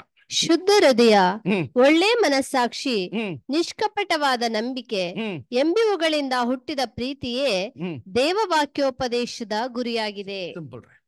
ಇದನ್ನ ಮಾತ್ರ ಇವತ್ತು ನಮ್ಮ ಮನಸ್ಸಿಗೆ ಏನ್ರಿ ಇಟ್ಕೊಂಡು ಈ ಒಂದು ಹೃದಯದ ಹಳಿಗೆಯಲ್ಲಿ ಬರೆಯೋದಕ್ಕೆ ಈ ವಚನ ಸಾಕು ನಮಗೆ ಅಲ್ವಾ? ಈ ವಚನ ಏನ್ ಹೇಳ್ತದೆ ಅಂತ ನಿಧಾನಕ್ಕೆ ಓದಿ ಸಿಸ್ಟರ್ ಶುದ್ಧ ಹೃದಯ. ನೋಡಿದ್ವಿ ಈಗ ಸ್ಟಾರ್ಟಿಂಗ್ ಅಲ್ಲೇ ನೋಡಿದ್ವಿ. ಶುದ್ಧವಾಗಿರೋರಿಗೆ ಎಲ್ಲವೂ ಶುದ್ಧವಾಗಿದೆ. ಅಶುದ್ಧವಾಗಿರಿಗೆ ಏನೆಲ್ಲ ಇದೆ ಅಂತ ಬರೀತಾರೆ. ಸೊ ನಾವು ಶುದ್ಧವಾಗಿ ಹೃದಯ ಯಾಗ ಆಗಬೇಕು ಅಂತ ಈ ನಾಲ್ಕು ಮದ್ದುಗಳನ್ನು, ಈ ನಾಲ್ಕು ಮೆಡಿಸಿನನ್ನು ಆ್ಯಂಟಿಡಾಟ್ನ ದೇವರ ವಾಕ್ಯದಿಂದನೇ ಪಡ್ಕೊಂಡಿದ್ದೀವಿ ಅಲ್ವಾ? ಸೊ ಈ ರೀತಿಯ ಒಂದು ಒಂದು ಮೆಡಿಸನ್ನ ನಮ್ಮ ಒಂದು ಏನ್ರಿ? ಡಿಸೀಸ್ಗೆ ಯೂಸ್ ಮಾಡಿಬಿಟ್ರೆ ಆತ್ಮಿಕ ರೀತಿಯಲ್ಲಿ ನಾವು ಶುದ್ಧವಾಗ್ಬೋದು. ಸೊ ಕನ್ಕ್ಲೂಡಿಂಗ್ ಆಗಿ ಅಲ್ಲಿ ಬರೆಯುವಾಗ ಶುದ್ಧವಾದ ಹೃದಯವು ಒಳ್ಳೆ ಮನಸ್ಸಾಕ್ಷಿ. ಒಳ್ಳೆ ಮನಸ್ಸಾಕ್ಷಿ. ಯುವರ್ ಬುದ್ಧಿ your mind and your conscious ಹಾ ನಿಷ್ಕಪಟವಾದ ನಂಬಿಕೆ. ನಿಷ್ಕಪಟವಾದ ನಂಬಿಕೆ. Your faith should be without ವೇವರಿ ನಿಷ್ಕಪಿಟವಾದ ಅಲ್ವಾ? ಸೊ ಇದೇ ಏನಂತ ಕನ್ಕ್ಲೂಡ್ ಮಾಡ್ತಾರೆ ನೋಡ್ರಿ? ಎಂಬಿವುಗಳಿಂದ ಹುಟ್ಟಿದ ಪ್ರೀತಿಯೇ? ನೋಡ್ರಿ ಎಂಬುಗಳಿಂದ ಹುಟ್ಟಿದ ಪ್ರೀತಿಯೇ? ಇದೇ ತುಂಬಾ ಮುಖ್ಯ ರೀ. ನಾವು ಪ್ರಾರಂಭದಲ್ಲಿ ಹೇಳಿದ್ವಿ, ಯಾಕೆ ಈ ಅಶುದ್ಧವಾದ ಒಂದು ಒಂದ್- ಒಂದು ಮನಸ್ಸು ನಮ್ಮಲ್ಲಿ ಇದೆ ಅಂದ್ರೆ ಪ್ರೀತಿಯ ಬೆಳವಣಿಗೆ ಕಡಿಮೆ ಇದೆ. ದೇವರು ಅಪೇಕ್ಷಿಸುವ ಪ್ರೀತಿಯ ಬೆಳವಣಿಗೆ ನಮ್ಮಲ್ಲಿ ಕಡಿಮೆ ಇರೋದ್ರಿಂದ ಅಶುದ್ಧವಾಗೇ ಇನ್ನ ನಮ್ಮ ಮನಸ್ಸು ಇದೆ. ಯಾವ ಒಂದು ನಂಬಿಕೆ ವಿಶ್ವಾಸದಲ್ಲಿ ಅಶುದ್ಧತೆಯನ್ನ ನಾವು ಪಡ್ಕೊಂಡಿದ್ದೀವೋ, ಅದೇ ಅಶುದ್ಧತೆಯನ್ನ ಸಭೆಯಲ್ಲಿ ಇನ್ನೂ ನಾವು ಇಟ್ಟಿದೀವಾ ಅಂತ ನೋಡಬೇಕಾಗಿರುವಂಥ ಪರಿಸ್ಥಿತಿ ಸಹೋದರ ಸಹೋದರಿಗೆ. ಅದಕ್ಕೆ ಇಂಗ್ಲೀಷಲ್ಲಿ ಹೇಳಬೇಕಾದ್ರೆ ತುಂಬಾ ಚೆನ್ನಾಗಿ ಬರೀತಾ ಇದೆ. ದ ಎಂಡ್ ಆಫ್ ಎವ್ರಿಥಿಂಗ್ ಅಂತ ಬರೀತಾರೆ. ಇದರ ಒಟ್ಟು ವಿವರ ಏನು?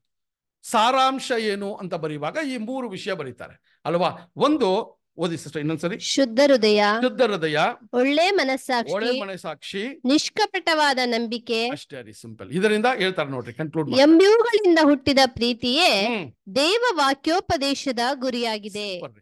ದೇವರು ಈ ಫುಲ್ ಬುಕ್ ಅನ್ನ ಕೊಟ್ಟಿರೋದು ವಾಕ್ಯೋಪದೇಶ ಕೊಟ್ಟಿರೋದು ಇದಕ್ಕಾಕಿನೇ ನಾವು ಇದನ್ನ ಏನ್ರಿ ನಾನಾ ರೀತಿಗಳಿಗೆ ಬಳಸ್ಕೋತಾರೆ ಒಬ್ಬೊಬ್ರು ಅಲ್ವಾ? ತಮ್ಮನ್ನೇ ಪರಿಶುದ್ಧವಂತರಂತ ತೋರಿಸೋದಕ್ಕೆ ಬರ್ಸ್ಕೋತಾರೆ, ತಮ್ಮನ್ನೇ ಹೆಮ್ಮೆ ಪಡಿಸ್ಕೊಳ್ಳೋಕ್ಕೆ ತೋರಿಸ್ಕೋತಾರೆ, ತಾವು ಇದರಿಂದಾನೇ ಆದಾಯ ಪಡಿಸ್ಕೋಬೇಕು ಅಂತಲೂ ಮಾಡಿಸ್ಕೋತಾರೆ.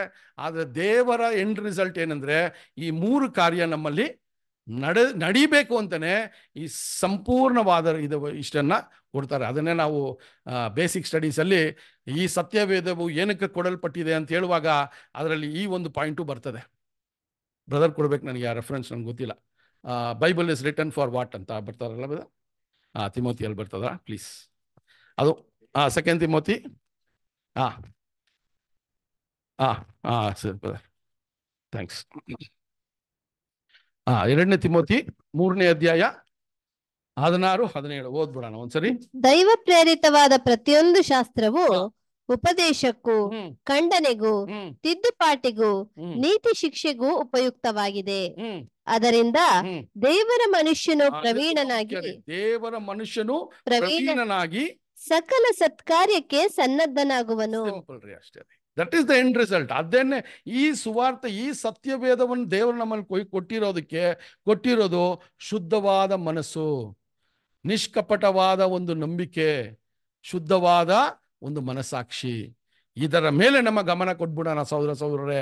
ನಾವು almost we will be very near to God's kingdom ಅಲ್ವಾ? ಸೊ ದೇವರು ಈ ವಾಕ್ಯಗಳನ್ನು ಆಶೀರ್ವದಿಸ್ಲಿ.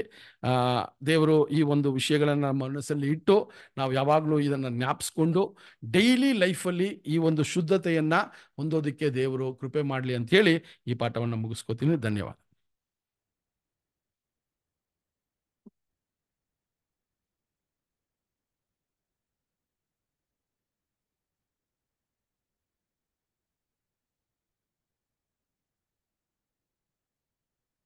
ಕರ್ತನಲ್ಲಿ ಪ್ರೀತಿ ಅಂತ ಸಹೋದರ ಸಹೋದರಿಯರೇ ನಮ್ಮ ಸಹೋದರು ತೀತಿನ ಬರೆದಂಥ ಪತ್ರಿಕೆಯಲ್ಲಿ ಏನ್ ಅನೇಕ ವಾಕ್ಯಗಳನ್ನ ತಗೊಂಡು ಅಲ್ಲಿ ಏನಾಗಿತ್ತು ತೀತಿನ ಒಂದು ಸಭೆಯಲ್ಲಿ ಅಂತ ಅಂದ್ಬಿಟ್ಟು ವಿಚಾರಗಳನ್ನ ಏನು ಮಾಡಿದ್ರು ನಮ್ಮ ಮಧ್ಯದಲ್ಲಿ ಹೇಳಿದ್ರು. ಅಲ್ವರ ಸೊ ಸಾಮಾನ್ಯವಾಗಿ ನೋಡ್ಬೇಕಾದ್ರೆ ನಾವು ವಾಕ್ಯನೆಲ್ಲ ಉಪದೇಶ ಮಾಡ್ಬೇಕಾದ್ರೆ ತೀತಿನ ಪತ್ರಿಕೆಯಲ್ಲಿರೋಂಥ ವಾಕ್ಯಗಳನ್ನ ಕೋಟ್ ಮಾಡೋದೇನ್ರಿ ತುಂಬಾ ತುಂಬಾ ರೇರ್ ಅದರ ಇದೇ ತರ ಇನ್ನೊಂದು ಪುಸ್ತಕ ಇದೆ. ಯಾವ್ದಪ್ಪ ಅಂದ್ರೆ ಫಿಲಿಮೋನ್ ಪುಸ್ತಕ ಕೇಳಿದಿರಾ ಫಿಲಿಮ್ ಪುಸ್ತಕ ಓದಿದ್ದೀರಾ?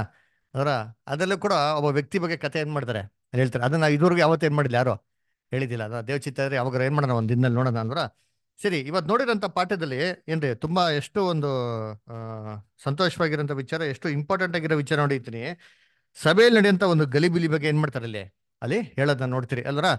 ಸೊ ಸಭೆಯಲ್ಲಿ ನೋಡಿ, ಯಾವ ಥರ ವ್ಯಕ್ತಿಗಳಿರ್ತಾರೆ ಯಾವ ಥರ ಅವರು ಶುದ್ಧವಾದ ಒಂದು ಮನಸ್ಸಲ್ಲಿ ನೋಡಿದ್ರೆ ಎಲ್ಲ ಶುದ್ಧವಾಗಿ ಕಾಣಿಸ್ತಾರೆ ಅಂತ ಅಂದ್ಬಿಟ್ಟು ಏನು ಮಾಡೋದು ಒಂದು ಎಕ್ಸಾಂಪಲ್ ಬ್ಯೂಟಿಫುಲ್ ಆಗಿ ಕೊಟ್ರು, ಅಲ್ವರ? ಸೊ ಶುದ್ಧವಾಗಿರೋಂಥ ದೃಷ್ಟಿಯಲ್ಲಿ ನೋಡಿದ್ರೆ ಇದ್ರೆ ಕಾಣಿಸೋಂಥದ್ದು ಎಲ್ಲವೂ ಹೆಂಗಿರ್ತಾರಂತೆ. ಅಲ್ವರ? ಅಶುದ್ಧವಾಗಿರ್ತಾರೆ. ನಂಗೆ ಟೈಮ್ ಇದ್ದರೆ ಒಂದು ವಿಡಿಯೋ ಆಗ್ತಾ ಇದ್ದೆ. ಅಲ್ವರ? ಯಾರೋ ಒಬ್ರು ಆ, ಒಂದು ಒಂದು ಏನ್ರಿ ಒಂದು ಇದು ನಾನು ಎಲ್ಲೋ ನೋಡಿರೋ ಫೇಸ್ಬುಕ್ ಅಲ್ಲಿ ನೋಡಿರೋಂಥದ್ದು. ಅಲ್ವರ? ಒಂದ್ಸತಿ ಏನಾಗ್ತಾರೆ ಅಂದ್ರೆ ಒಬ್ಬ ವ್ಯಕ್ತಿ ದಿಢೀರಂತ ಮನೆಯೊಳಗೆ ಇರ್ತಾನೆ ಅಲ್ವರ? ಅವಾಗ ಏನಾಗ್ತಾರೆ ಒಬ್ರು ಒಬ್ರು ಲೇಡಿ ಏನಾಗ್ತಾರೆ ಬೆಲ್ ಹೊಡಿತಾರೆ. ಬೆಲ್ ಹೊಡಿದ ತಕ್ಷಣ ಇವರು ಡೋರ್ ಓಪನ್ ಮಾಡ್ತಾರೆ. ಸರಿ ಡೋರ್ ಓಪನ್ ಮಾಡಿದಾಗ ಅವರು ಗಂಡನ ಜೊತೆಗೆ ಅವ್ರ ಹೆಂಡತಿ ಕೂಡ ಏನಾಗುತ್ತೆ ಹಿಂದೆ ಇರ್ತಾರೆ. ಅದರ ಸೊ ಹೆಂಡತಿ ಬಾಗಲ್ ತೆಗೆದಕ್ಕಿಂತ ಮುಂಚೆ ಗಂಡ ಏನ್ ಮಾಡ್ತಾನೆ ಬಾಗಲ್ನ ತೆಗಿತಾನೆ. ತೆಗ್ದಿದ ತಕ್ಷಣ ಯಾರೋ ಒಬ್ರು ಹುಡುಗಿ ಏನಾಗಿರ್ತಾರೆ, ಮುಂದೆ ನಿಂತಿರ್ತಾರೆ. ಹುಡುಗಿ ನೋಡೋಕೆ ಏನಾಗಿರ್ತಾರೆ ತುಂಬಾ ಚೆನ್ನಾಗಿರ್ತಾರೆ. ಸೊ ಏನು ಮಾಡ್ತಾರೆ, ಏನು ಮಾಡಮ್ಮ ಅಂತ ಕೇಳಿದ ತಕ್ಷಣ ಒಳಗಡೆ ಬನ್ನಿ ಅಂತ ಹೇಳ್ತಾರೆ. ಒಳಗಡೆ ಬನ್ನಿ ಅಂತ ಹೇಳಿದ ತಕ್ಷಣ ಅಮ್ಮ ಒಳಗಡೆ ಬರಕ್ಕೆ ಹೋದಾಗ ಸ್ಲಿಪ್ಪಾಗಿ ಏನಾಗ್ಬಿಡ್ತಾಳೆ ಹುಡುಗಿ, ಬಿದ್ದೋಗ್ಬಿಡ್ತಾಳೆ. ಬಿದ್ದೋಗಿದ ತಕ್ಷಣ ಯಾರ ಮೇಲೆ ಬಿದ್ದೋಗ್ತಾಳೆ ಅಂತಾರೆ ಅಫ್ಕೋರ್ಸ್ ಎದುರುಗಡೆ ಬಾಗಲ್ ತೆಗೆ ಬಂದಿದ್ದೆ ಯಾರು ಹಸ್ಬೆಂಡು ಹಸ್ಬೆಂಡ್ ಮೇಲೆ ಬಿದ್ದಿದ ತಕ್ಷಣ ಹಸ್ಬೆಂಡ್ ಏನು ಮಾಡ್ತಾನೆ ಹಿಡ್ಕೊಂಡ್ಬಿಡ್ತಾನೆ. ಅಲ್ವರ ಹಿಡ್ಕೊಂಡಿದ ತಕ್ಷಣ ಕರೆಕ್ಟಾಗಿ ಯಾರು ಬರ್ತಾರೆ? ಅವ್ರು ಹೇಳ್ತಿ ಇವಾಗ ನೋಡಕ್ ಹೆಂಗಿರ್ತೈತೆ ಅದು? ಆ? ನೋಡಕ್ ಹೆಂಗಿದೆ ಅಂದ್ರೆ ಅದು ತಪ್ಪಾದ ದೃಷ್ಟಿನೇ. ಎಷ್ಟೇ ಒಳ್ಳೆ ಅದೃಷ್ಟ ಆಗಿದ್ರು ಸರಿ. ಕಣ್ ದೃಷ್ಟಿಯಲ್ಲಿ ಏನ್ ಕಾಣಿಸ್ತು? ಸೊ ಅವಾಗ ಏನಾಯ್ತು ಅಲ್ಲಿ ಇಂಪ್ರೆಷನು ಅಲ್ವರ? ಫೀಲಿಂಗ್ಸ್ ಏನಾಯ್ತಲ್ಲಿ ರಾಂಗ್ ಆಗೇ ಬಂತು. ಅಲ್ವರ? ಸ್ವಲ್ಪ ಹೊತ್ತು ನಿಂತು ಅದನ್ನ ಕ್ಲಾರಿಫೈ ಮಾಡಿ ಕ್ಲೀನ್ ಎಲ್ಲ ಆಗಿದ್ರೆ ಏನಾಗಿರೋದು? ಹಾ ಅಲ್ವರ? ಸೊ ಅದಕ್ಕೆ ನೋಡ್ಬೇಕಾದ್ರೆ, ಇದನ್ನೇ ಅಲ್ಲಿ ಹೇಳೋದು ಅಪೋಸ್ಟ್ಲ್ ಪೌಲ್. ಸಭೆಯಲ್ಲಿ ಅಂದ್ರೆ ಕೆಲವೊಂದು ವಿಚಾರಗಳು ಏನ್ರಿ ಆಗ್ತದೆ? ಮನಸ್ತಾಪಗಳನ್ನ ತರಂಥದ್ದು ಆಗ್ತದೆ. ಅದಕ್ಕೆ ಈ ಮನಸ್ತಾಪಗಳು ಬರಬಾರ್ದು ಅಂತಂದ್ರೆ ಅಲ್ಲಿ ಫಸ್ಟ್ ಏನ್ ಹೇಳ್ತಾರೆ? ನಿಮ್ಮ ಮನಸ್ಸು ಆಮೇಲೆ ಮನಸ್ಸಾಕ್ಷಿ ಏನಾಗಿರ್ಬೇಕು ಫಸ್ಟ್ ಹಾ ಶುದ್ಧವಾಗಿರ್ಬೇಕು. ಅಲ್ವರ? ಇವಾಗ ಮನಸ್ಸಾಕ್ಷಿ ಮತ್ತೆ ಮನಸ್ಸು ಶುದ್ಧವಾಗಿದ್ರೆ ನಾವು ನೋಡೋ ದೃಷ್ಟಿಗೆ ನೋಡ್ತೀರಿ? ಹಾ ಶುದ್ಧವಾಗೇ ನೋಡ್ತೀರಿ. ಇವಾಗ ಉದಾಹರಣೆಗೆ ಹೇಳ್ಬೇಕು ಅಂತೀನಿ. ಇವಾಗ ಯಾರೊಬ್ರು ಬಂದು ಸಭೆಯಲ್ಲಿ ಕೂತಿರ್ತಾರೆ ಎಕ್ಸಾಂಪಲ್ ಹೇಳೋದು. ಅಲ್ವರ? ಇವಾಗ ಅವ್ರಿಗೆ ಏನಾಗ್ತಾ ಇರ್ಬೋದು, ಪಾಠ ತಗೊಂತಾ ಇರ್ತೀನಿ ತಿಳ್ಕೊಳ್ಳಿ ಅವ್ರು ತುಂಬಾ ಏನ್ ಮಾಡ್ತಾ ಇರ್ಬೋದು, ತೂಗುಡಿಸ್ತಾ ಇರ್ಬೋದು ಎಕ್ಸಾಂಪಲ್ ಹೇಳೋದು. ಇವಾಗ ನಮ್ಗೆ ಪಾಠ ಮಾಡಿದಾಗ ಹೆಂಗ್ ಅನ್ಸ್ತದೆ? ಹೆಂಗ್ ಅನ್ಸ್ಬೋದ? ಈ ಪಾಠ ಮಾಡಿದ್ರೆ ಹೇಳಿ ನೀವೇನು ಎಕ್ಸಾಂಪಲ್ ಇವ್ ನಿಂತ್ಕೊಂಡಿದ್ರೆ ನೀವೆಲ್ಲ, ಯಾರೋ ಒಬ್ರು ತೂಗುಡಿಸ್ತಾರೆ ನಿಂತ್ಕೊಂಡಿರೋ ವ್ಯಕ್ತಿ ಏನ್ ಅನ್ಸ್ತದೆ? ಏನ್ ಹೇಳ್ರಿ? ಹಾ ನಮ್ ಮಾತಾಡೋದು ಏನಾಗ್ತದೆ? ನಿದ್ದೆ ಬರ್ತಾ ಇದ್ರೆ ಅಫ್ಕೋರ್ಸ್ ಅದೇ ಫೀಲಿಂಗ್ ಬರೋದು ಅಲ್ರ ಆಕ್ಚುಲಿ ಏನಾಗಿರ್ಬೋದು ಮೋಸ್ಟ್ಲಿ ಹಾ, ಕೇಳಂತ ಇದ್ದಿರಲ್ಲ. ಆಮೇಲೆ ಏನಾಗಿರ್ಬೋದು ಬೇರೆ ಏನಾಗಿರ್ಬೋದು? ಆ, ಏನೋ ಡ್ಯೂಟಿ ಗೀಟಿ ಮಾಡಿ ಅಥವಾ ಹುಷಾರ್ ತಪ್ಪೋಗಿ ಏನಾಗಿರ್ಬೇಕು ಅವ್ರಿಗೆ? ಅಲ್ವರ? ಏನೋ ಟಯರ್ಡ್ ಆಗಿರ್ಬೇಕು. ಅದರಿಂದ ಮೋಸ್ಟ್ಲಿ ಏನಾಗ್ತಿರ್ಬೇಕು? ಗಮನ. ಹಾ ಆ ಕಡೆ ಈ ಕಡೆ ಏನಾಗ್ತದೆ? ಚಂಚಲ ಮನಸ್ಸಾಗ್ತಾ ಇರ್ಬೋದು. ಸೊ ನೋಡಿ, ಎಷ್ಟೆಲ್ಲ ಮನಸ್ತಾಪಗಳ ತರಕ್ಕೆ ಆಸ್ಪದಗಳು ಇದೆ. ಅದರ ಅದರಿಂದ ನಾವು ನೋಡೋಂಥ ದೃಷ್ಟಿ ಏನಾಗಿದೆ? ಅಲ್ವರ? ಯಾವ ತರ ಇರ್ತದೋ ಅದ್ರ ಮೇಲೆ ಎಲ್ಲವೂ ನಮ್ಗೆ ಏನಾಗ್ತಾರೆ? ಶುದ್ಧವಾಗಿ ಕಾಣುತ್ತಾರೆ ನೋಡೋಂಥ ದೃಷ್ಟಿನೇ ಸರಿ ಇಲ್ಲ ಅಂತಂದ್ರೆ? ಎಲ್ಲವೂ ಏನಾಗ್ತದೆ ಇವಾಗ? ಎಲ್ಲವೂ ಏನ್ರಿ ಸಸ್ಪಿಷ್ ಆಗೇ ನೋಡೋದು. ಎಲ್ಲಾನು ಡೌಟ್ ರೀತಿಯಲ್ಲಿ ನೋಡೋದು. ಎಲ್ಲಾನು ಡೌಟ್ ರೀತಿಯಲ್ಲಿ ನೋಡಿದ್ರೆ ಏನಾಗ್ತಾರೆ ಹೇಳಿ? ನಾವು ಸತ್ಯಲ್ಲಿ ಏನ್ರಿ ದೃಢವಾಗಿ ನಿಲ್ಲಕ್ಕೆ ಸಾಧ್ಯನೇ ಇಲ್ಲ. ಇಂಥವ್ರು ತಮ್ಮ ಕಾಲಿಂಗಿನ ಎಲೆಕ್ಷನ್ ಶೋರ್ ಮಾಡಕ್ ಸಾಧ್ಯನಾ? ಅದನ್ನೇ ನಮ್ಮ ಬ್ರದರ್ ಹೇಳಿದ್ದು, ಅಲ್ವರ? ನಾವು ನಮ್ಮ ಕಾಲಿಂಗ್ ಎಲೆಕ್ಷನ್ ಶೋರ್ ಮಾಡ್ಬೇಕು ಅಂತಂದ್ರೆ ಇಂಥ ಅಶುದ್ಧವಾಗಿರೋಂಥ ಮನಸ್ಸು ನಮ್ಮಲ್ಲಿ ಏನಾಗಿರ್ಬಾರ್ದು? ಇರಬಾರ್ದು, ಅಲ್ವರ? ಅದಕ್ಕೆ ನಮ್ಮ ಬ್ರದರ್ಸ್ಗಳು ಒಂದು ಪಾಠ ತೆಗಿರಲ್ಲ ಮಕ್ಳುಗಳ ಬಗ್ಗೆ. ಈ ಮಕ್ಕಳಲ್ಲಿ ಗುಣ ಏನಾಗಿರಲ್ಲ? ಇರಲ್ಲ ನೋಡಿದಿರಾ ಅಂದ್ರೆ ಏನೇ ಜಗಳ ಆಡ್ಲಿರಿ ಎಂಥ ಒಂದು ಕುಸ್ತಿ ಆಡ್ಲಿ ಬೇಕಾರೆ ಎಂತ ಏನೋ ಎಂತ ವಾಪಸ್ ಒಂದು ಸ್ವಲ್ಪ ಕ್ಷಣ ಟಕ್ಕಂತ ಏನಾಗ್ತಾರೆ, ಸಾಯಂಕಾಲ ವಾಪಸ್ ಇನ್ನು ಹೋಗ್ಬಿಟ್ಟ.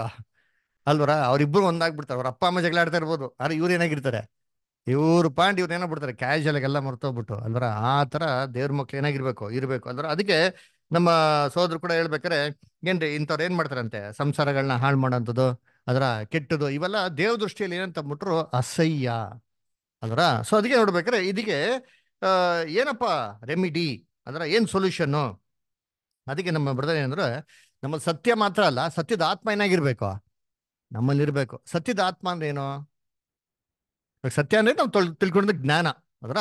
ಸೊ ಈ ಜ್ಞಾನನ ನಮ್ಮ ಲೈಫಲ್ಲಿ ಇಂಪ್ಲಿಮೆಂಟ್ ಮಾಡೋದು ಏನ್ರಿ? ಸತ್ಯದ ಆತ್ಮ ಅಲ್ವರ ಉದಾಹರಣೆಗೆ ಹೇಳ್ಬೇಕಾದ್ರೆ, ಇವಾಗ ನೀವು ಎಷ್ಟೋ ಸತಿ ಹೇಳಿದ್ರಿ ಇನ್ನೊಂದು ಸತಿ ಹೇಳ್ತೀನಿ. ಇವಾಗ ಹೇಳ್ಬೇಕಾದ್ರೆ ಅದು ಎಫೆಕ್ಟ್ ಗೊತ್ತಾಗ್ತದೆ. ಅದರ? ಇವಾಗ ಟೊಮೆಟೊ ಏನದು? ಟೊಮೆಟೊ. ಟೊಮೆಟೊ ಏನದು? ಅದು ಹಣ್ಣ, ಕಾಯ. ಟೊಮೆಟೊ, ಹಣ್ಣು. ವೆರಿ ಗುಡ್ ಅಲ್ವರ? So tomato is a fruit ಅಲ್ವರ? ಹಣ್ಣು. ಅಲ್ವರ? ಸರಿ, ಆಪಲ್ಲು? ಆಪಲ್ಲು ಹಣ್ಣೆ. ಸರಿ, ಇವಾಗ ಆಪಲ್ನ ಕೂದ್ಬಿಟ್ಟು ಫ್ರೂಟ್ ಸಲಾಡ್ ಏನು ಮಾಡ್ತೀರಿ? ಹಾಕ್ತೀರಿ. ಟೊಮೆಟೊನೂ ಕೂಡ ಹಣ್ಣು ಅಂತಂದ್ಬಿಟ್ಟು ಕೂಯ್ದ್ಬಿಟ್ಟು ಫ್ರೂಟ್ ಸಲಾಡ್ಗೆ ಹಾಕಕ್ಕಾಯ್ತದ ಆ, ಜ್ಞಾನ ಐತೆ. ಆ ಜ್ಞಾನನ ಕರೆಕ್ಟಾಗಿ ಏನು ಮಾಡಬೇಕು? ಆ, ಅದು ನಮ್ಮ ಲೈಫಲ್ಲಿರೋಂಥ ಅಪ್ಲಿಕೇಶನ್. ಸತ್ಯ ಕೇಳಿದಿರಲ್ಲ? ಅದರ ಸತ್ಯ ಕೇಳೋದು ಮಾತ್ರ ಇಂಪಾರ್ಟೆಂಟ್ ಅಲ್ಲ. ಸತ್ಯನ ನಮ್ಮ ಲೈಫಲ್ಲಿ ಹೇಗೆ ಅಳವಡಿಸ್ತೀರಿ ಅಂತ ಕೂಡ ಏನಾಗಿದೆ ಅದು? ಇರಬೇಕು. ಅಲ್ವರ? ಇವಾಗ ದೇವರು ಬಿಡದ್ರೆ ಹೇಳ್ದಲ್ಲ ಸತ್ಯ ಕೊಟ್ಟಿಂತ ಕಂಕ್ಲೂಷನ್ ಏನೋ ಉದ್ದೇಶ ಏನಕ್ಕಪ್ಪ? ನಿಷ್ಕಳಂಕವಾಗಿರಂತ ಹೃದಯದಿಂದ ಏನ್ರಿ ಹೊರಬರುವಂತ ಪ್ರೀತಿ. ಕರೆಕ್ಟಾ? ಇದೇ ಇಲ್ಲ ಅಂತಂದ್ರೆ ಏನ್ ಪ್ರಯೋಜನ ಮಾಡಿ? ಅಲ್ವರ? ಅದಕ್ಕೆ ನಮ್ಮ ಬ್ರದರ್ ಹೇಳ್ದಲ್ಲ ಪ್ರೀತಿಯಲ್ಲಿ ನಾಲ್ಕು ತರ ಸ್ಟೇಜ್ಗಳಿದೆ. ಈ ನಾಲ್ಕನೇ ಸ್ಟೇಜ್ ಅಂತಂದ್ರೆ ಏನಪ್ಪ ನಮ್ಮ ಸಹೋದರ ನಡುವೆ ಅಂತ ಪ್ರೀತಿ. ಇದನ್ನ ನಮ್ಮ ಲೈಫಲ್ಲೇ ಇಲ್ಲಿ ನೋಡ್ತಿಲ್ಲ ಅನ್ನೋ ಮುಂದೆ ಕಾಣಿಸೋ ಸಹೋದರಗಳ ನಡುವೆ. ಅದರ ಏನು ಕಾಣದೆ ಅಂತ ದೇವ್ರನ್ನ ನೋಡ್ತೀನಿ ಅಂತ ಅಂದ್ಬಿಟ್ಟು ಏನ್ ಪ್ರಯೋಜನ? ಅದಕ್ಕೆ ಬ್ರದರ್ ಹೇಳಲ್ಲ, ಇಲ್ಲಿಂದ ಅಲ್ಲಿ ಹೋಯ್ತೀನಿ ಅಲ್ಲಿ ಇಲ್ಲಿ ಹೋಯ್ತೀನಿ ಎಲ್ಲಾ ಕಡೆ ರೌಂಡ್ ನೋಡ್ಕೊಂಡ್ಬಿಟ್ಟು ಕಣಗೆ ಏನಾಯ್ತದೆ? ಹಾ? ಅದೇ ಯೇಸು ಕುಸ್ ಹೇಳ್ತಲ್ಲ, ಒಂದು ಪಿಸಾಸ್ ಒಬ್ರು ವ್ಯಕ್ತಿನ ಏನ್ ಮಾಡ್ತಂತೆ. ಏನಾಯ್ತಂತೆ? ಅಯ್ಯೋ, ಹಾ? ಒಬ್ಬ ಒಬ್ಬ ವ್ಯಕ್ತಿಯಿಂದ ಪಿಸಾಸನ್ ಏನ್ ಮಾಡಿದ್ರಂತೆ. ಓಡಿಸಿದ್ರಂತೆ. ಆ ಪಿಸಾಸ್ ಏನ್ ಮಾಡ್ತಂತೆ? ಎಲ್ಲಾ ಕಡೆ ಫಸ್ಟ್ ನೋಡ್ಕೊಂಡ್ ಬಂತಂತೆ. ಎಲ್ಲಾ ಕಡೆ ನೋಡ್ಕೊಂಡ್ಬಿಟ್ಟು ಅವಾಗ ಏನಾಯ್ತು ಅನ್ನಿಸ್ತಂತೆ? ಓ ಹಂಗಾರೆ ಯಾವುದು ಬೆಟರ್ ಆಗಿರೋ ಜಾಗ? ಇಲ್ಲ. ಅವಾಗ ಇಲ್ಲೇ ಏನ್ ಮಾಡೋಣ? ಬಂದು ಆ ತರ ನಮ್ ಗತಿ ಆಗೋಯ್ತದೆ. ಅಲ್ವರ? ಅದಕ್ಕೆ ದೇವ್ರ ಮಕ್ಳು ಹೆಂಗಿರ್ಬೇಕು ಅಂದ್ರೆ ಎಚ್ಚರಿಕೆ ಇರ್ಬೇಕು ನೋಡ್ರಿ, ದೇವ್ರು ಕರ್ದಿರತ್ತಾರೆ ನಮ್ಮನ್ನ ನಾವೇನು ಕರೆದಿಲ್ಲ. ನಾವೆಲ್ಲ ಏನ್ರಿ, ಒಂದು ಟೂಲ್ಸ್ಗಳು ಅಷ್ಟೇ. ಕರೆಕ್ಟಾ ಕರೆದಿರೋ ಉದ್ದೇಶನಕ್ಕೆ ಕ್ರಿಸ್ತನ ಸ್ವರೂಪಕ್ಕೆ ಆಗಿರೋಂಥ ಅನುಭವ ಬೇಕೇ ಬೇಕು ತಾನೆ? ಎಲ್ಲಿದ್ರು ಸರಿ ಅನುಭವ ಏನ್ ಮಾಡ್ತಾರೆ? ದೇವ್ರು ಕುಡಿದ್ರೆ ಬಿಟ್ಬಿಡ್ತಾರಾ? ಯೋಚನೆ ಮಾಡಿ, ಇಲ್ಲಿಂದ ಬಿಟ್ಬಿಟ್ಟು ಅಮೆರಿಕಕ್ಕೆ ಹೋಗ್ಬಿಡ್ತೀನಪ್ಪ.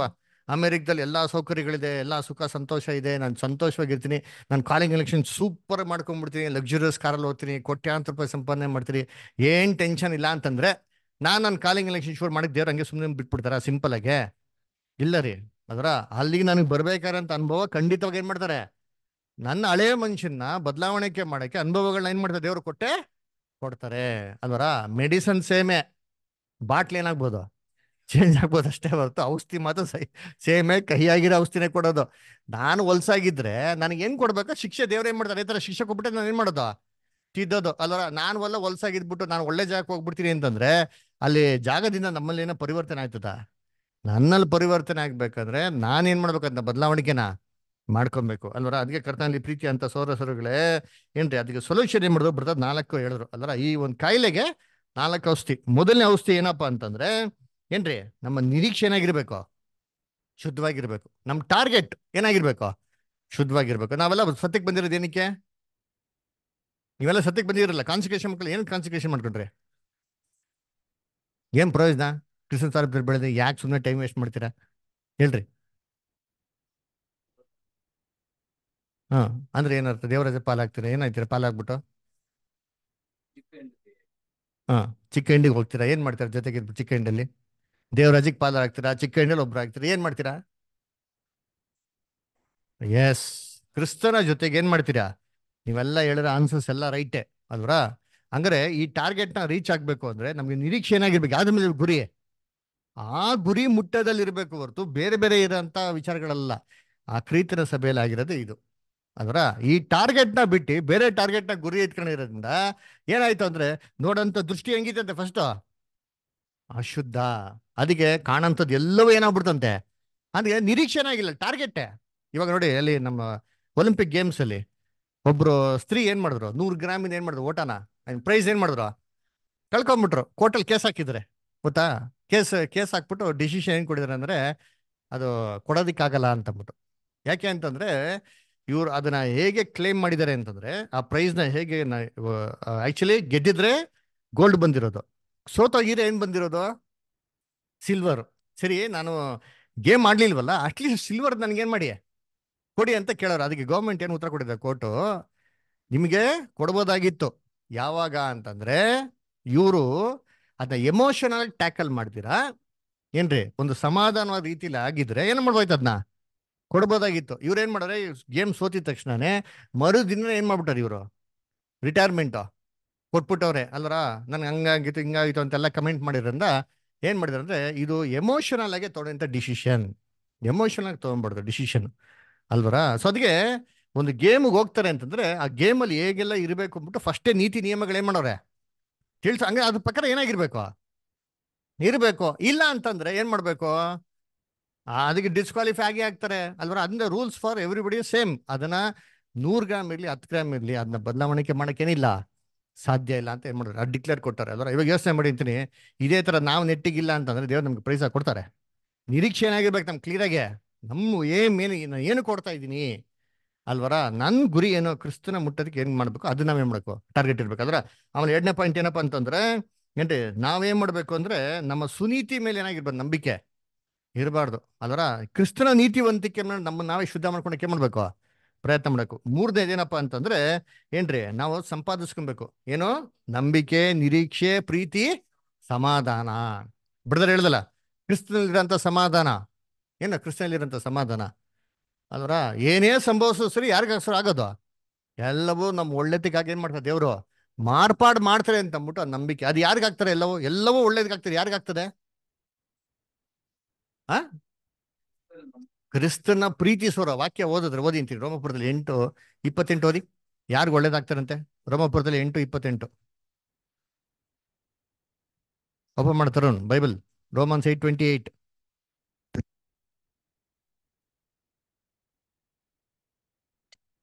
ಇದಲ್ಲದೆ ದೇವರ ಸಂಕಲ್ಪದ ಮೇರೆಗೆ. ಕರೆಯಲ್ಪಟ್ಟು ಆತನನ್ನು ಪ್ರೀತಿಸುವವರ ಹಿತಕ್ಕಾಗಿ ಎಲ್ಲಾ ಕಾರ್ಯಗಳು ಅನುಕೂಲವಾಗುತ್ತವೆ ಎಂದು ನಮಗೆ ಗೊತ್ತದೆ. ಆ, ನೋಡ್ರ ಯಾರಿಗಂತೆ ಅನುಕೂಲವಾಗ್ತದೆ ಇವಾಗ? ಎಲ್ಲರಿಗೂನ? ಆ ನೋಡಪ್ಪ ನಾವು ದೇವ್ರನ್ನ ಪ್ರೀತಿ ಮಾಡೋರಾಗಿದ್ರೆ ಖಂಡಿತವಾಗೂ ಏನಾಗ್ತದೆ ಎಲ್ಲವೂ ನಮ್ಗೆ ಅನುಕೂಲವಾಗಿ ಆಗ್ತದೆ. ಅಲ್ವಾ ಇವಾಗ ನಾವು ದೇವ್ರನ್ನ ಪ್ರೀತಿ ಮಾಡಿಲ್ಲ ಅಂತಂದ್ರೆ? ಹಾ ನಮ್ಗೇನಾಗಲ್ಲ ಅನಾನುಕೂಲವಾಗೆ ಆಗ್ತಾರೆ ಅಂತ ಅರ್ಥ. ಅಲ್ದ್ರ ಅಂದ್ರೆ ನಾವೇನ್ ಮಾಡ್ಬೇಕು? ದೇವ್ರನ್ನ ಶುದ್ಧವಾದ ಹೃದಯದಲ್ಲಿ ಏನ್ ಮಾಡ್ಬೇಕು? ಪ್ರೀತಿ ಮಾಡೋರು. ಆಗಿರ್ಬೇಕು. ಅವಾಗ ನೋಡಿ ಯಾರೇ ನಮಗೆ ಕೆಟ್ಟದ್ ಮಾಡ್ಲಿ, ದೇವ್ರ ಅದ್ನೇನ್ ಮಾಡ್ತಾರೆ ನಮ್ಮ ಒಳ್ಳೇದ್ಗೆ? ಒಳ್ಳೇದ್ಗೆ ಮಾಡ್ತಾರೆ? ನಮ್ಗೆ ಕೆಟ್ಟದ್ದು ಏನಾಗಲ್ಲ ಆಗಲ್ಲ ಅಲ್ವರ? ಅದಕ್ಕೆ ಎಷ್ಟೋ ಸತಿ ಸನ್ನಿವೇಶಗಳು ಹೆಂಗ್ ನಡೀತಾರೆ ಅಂದ್ರೆ ನಮ್ಗೆ ಶಾಕಿಂಗ್ ಆಗಿರ್ತದೆ. ಆ ದೇವ್ರು ಎಷ್ಟೋ ಮೇಲೆ ಅದು ಒಳ್ಳೆ ಬ್ಯೂಟಿಫುಲ್ ರಿಸಲ್ಟ್ ಏನ್ ಮಾಡ್ತಾರೆ ನಮಗೆ? ನಮ್ಗೆ ಕೊಡ್ತಾರೆ. ಏನ್ ಹೇಳ್ತಾರೆ? ನಿಮ್ಗೆ ವಿರುದ್ಧವಾಗಿ ಎಂತಾರೆ? ಫಲಿಸುವಂತ ಯಾವುದೇ ಆಯುಧಗಳೇನಾಗೋದಿಲ್ಲ ಏನಾಗೋದಿಲ್ಲ. ನಿಮ್ಗೆ ವಿರುದ್ಧವಾಗಿ ಮಾಡಿದಂತ ಒಂದು ಆಯುಧಗಳು ಏನಾಗಲ್ಲ. ನಿಲ್ಲದಿಲ್ಲ ಅಂತ ಹೇಳ್ತಾರಲ್ಲ ಆ ನಂಬಿಕೆ ಏನಾಗಿರ್ಬೇಕು ನಮ್ಗೆ? ದೇವನ ಅಂದ್ರೆ ಆಮೇಲೆ ಕೊನೆಯದಾಗ ಏನು ಹೇಳ್ತಾರೆ ಅಂದ್ರೆ ಸತ್ಯವೇದಕ್ಕೆ ಒಬ್ಬಿಡಿಯಂಟ್ ಏನಾಗಿರ್ಬೇಕು ವಿಧೇಯರಾಗಬೇಕು ಅಲ್ಲರ ವಾಕ್ಯಕ್ಕೆ ವಿಧೇಯರಾಗಿದ್ರೆ ಆಟೋಮೆಟಿಕ್ ಆಗಿ ಏನು ಮಾಡ್ತಾರೆ? ನಮಗೆ ದೇವರು ಇವೆಲ್ಲ ಆಶೀರ್ವಾದಗಳನ್ನ ಕೊಡ್ತಾರೆ. ಅದಕ್ಕೆ ಆ ಓಟನ್ನು ಹೇಳಲ್ಲ ನಾಲ್ಕು ರೀತಿ ಓಟದಲ್ಲಿ ಐ ಮೀನ್ ರಿಂಗಲ್ಲಿರೋಂಥ ನಾಲ್ಕು ಸ್ಟೇಜಸ್ ಅಲ್ಲಿ ನಾವು ಎಲ್ಲಿಗೊಪ್ಪ ಫೇತ್ಫುಲ್ ಆಗಿರ್ಬೇಕು ಅಂದ್ರೆ ಫೇತ್ಫುಲ್ ಅಂಟು ಡೆತ್ ಸಹೋದರ ಪ್ರೀತಿಗಳಲ್ಲಿ ಏನಾಗಿರ್ಬೇಕು? ಮುಖ್ಯವಾಗಿ ನಾವು ಏನಾಗಿರ್ಬೇಕು? ನಂಬಿಕಸ್ಥರಾಗಿರ್ಬೇಕು. ಅಲ್ರ ಅದನ್ನ ಕರ್ತನಲ್ಲಿ ಪ್ರೀತಿ ಅಂತ ಸಹೋದರಗಳೇ ಅಂದ್ರೆ ಕೊಟ್ಟಂತ ಒಳ್ಳೆ ವಾಕ್ಯ ಸಂದೇಶಕ್ಕಾಗಿ ನಾವು ದೇವರಿಗೆ ಕೃತಜ್ಞತೆ ಒಳಗನ ದೇವ್ರ ವಾಕ್ಯಗಳನ್ನ ಆಶೀರ್ವದಿಸ್ಲಿ. ಸರಿ, ಇವಾಗ ಇನ್ನೊಂದು ಮುಖ್ಯವಾಗಿರೋ ಸ್ಟಾಪ್ ಮಾಡ್ಬಿಡ. ರೈಟ್ ಸರಿ ನೋಡ್ಬೇಕಾದ್ರೆ ಇನ್ನೊಂದು. ಅದರ ಇವಾಗ ಬ್ರದರ್ ಪಾಠ ಮಾಡಿದ್ನ? ಎಷ್ಟು ಜನಕ್ಕೆ ಮೈಂಡಲ್ಲಿ ಕೂತ್ಕೊಂತು? ಒಂದು ಟೆಸ್ಟಿಗೆ ಹೇಳೋದು. ಯಾಕೆಂತ ಒಂದು ಒಂದು ಎಕ್ಸಾಂಪಲ್ ನೋಡಿಸ್ತೀನಿ ನಿಮಗೆ. ಎಷ್ಟು ಜನ ಮೈಂಡಲ್ಲಿ ಕೂತ್ಕೊಂತು?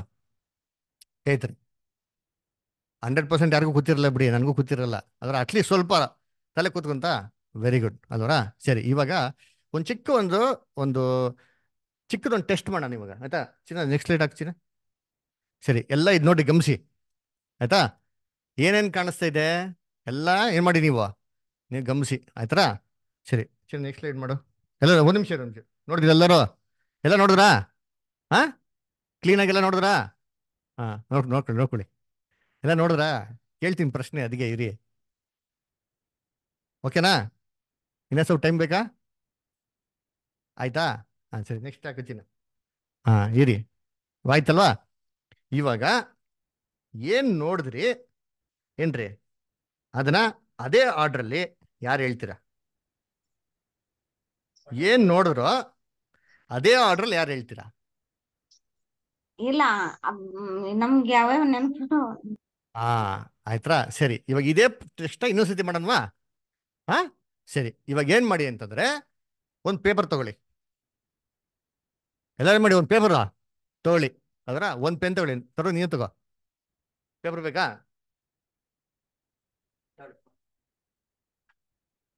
ತೊಳಿ ಎಲ್ಲರೂ ಪೇಪರ್ ಎಲ್ಲರಿಗೂ, ತೊಗೊಳ್ಳಿ. ತರಂಗ ಕೊಡಿ.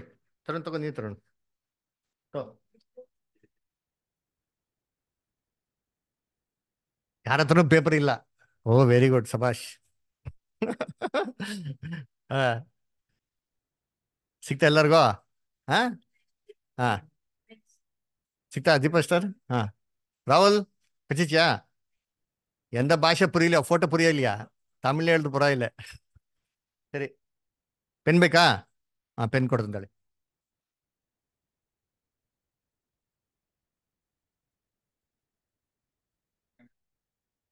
ಬನ್ನಿ ಬನ್ನಿ ಬನ್ನಿ, ಜಲ್ದಿ ಬನ್ನಿ. ಹಾ. ಹಾಂ ಕೊಡಿ, ಎಲ್ಲ ಕೊಡಿ ಬೇಕಾದ್ರೆ ಬೆಲ್ಲ ಸಿಗ್ತಾ ಪೆನ್ ಎಲ್ಲ ಇದೆಯಾ? ಸಿಂಪಲ್ ಒಂದು ಚಿಕ್ಕ ಟೆಸ್ಟ್ ನೋಡೋಣ. ಕಮ್ ಫಾಸ್ಟ್ ಬೇಕಾ ಯಾರಿಗಾರ ಪೆನ್ನು? ಹಾ. ಎಲ್ಲರಿಗೂ ಸಿಗ್ತಾ ಸಿಗ್ತಾ ಎಲ್ಲರಿಗೂ? ಓಕೆನಾ?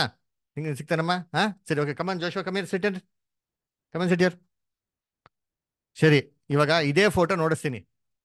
ಇರಿ ಇರಿ, ಒಂದು ನಿಮಿಷ. ಎಲ್ಲ ನೋಡ್ಕೊಂಡು ಬರೀರಿ. ಬರೀರಿ ಬರೀರಿ ಬರೀರಿ ಎಲ್ಲರೂ. ನಿಮ್ಮ ನಿಮ್ಮ ಭಾಷೆಗಳಲ್ಲಿ ಬರ್ಕೊಳ್ಳಿ. ನನ್ನ ಭಾಷೆನೇ ಬೇಡ ನಿಮ್ಮ ಭಾಷೆಯಲ್ಲೇ ಬರ್ಕೊಳ್ಳಿ. ಜಾಸ್ತಿ ಸಮಯ ಇರೋದಿಲ್ಲ. ಟೈಮ್ ಕ್ಲೋಸ್ ಮಾಡ್ತೀರಿ ಜಲ್ದಿ ಬರ್ಕೊಳ್ಳಿ.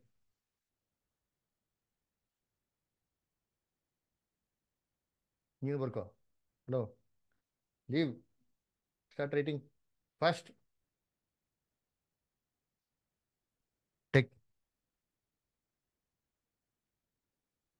ಎಲ್ಲ ಬರ್ಕೊಂಡ್ರಾ? ಹಾ.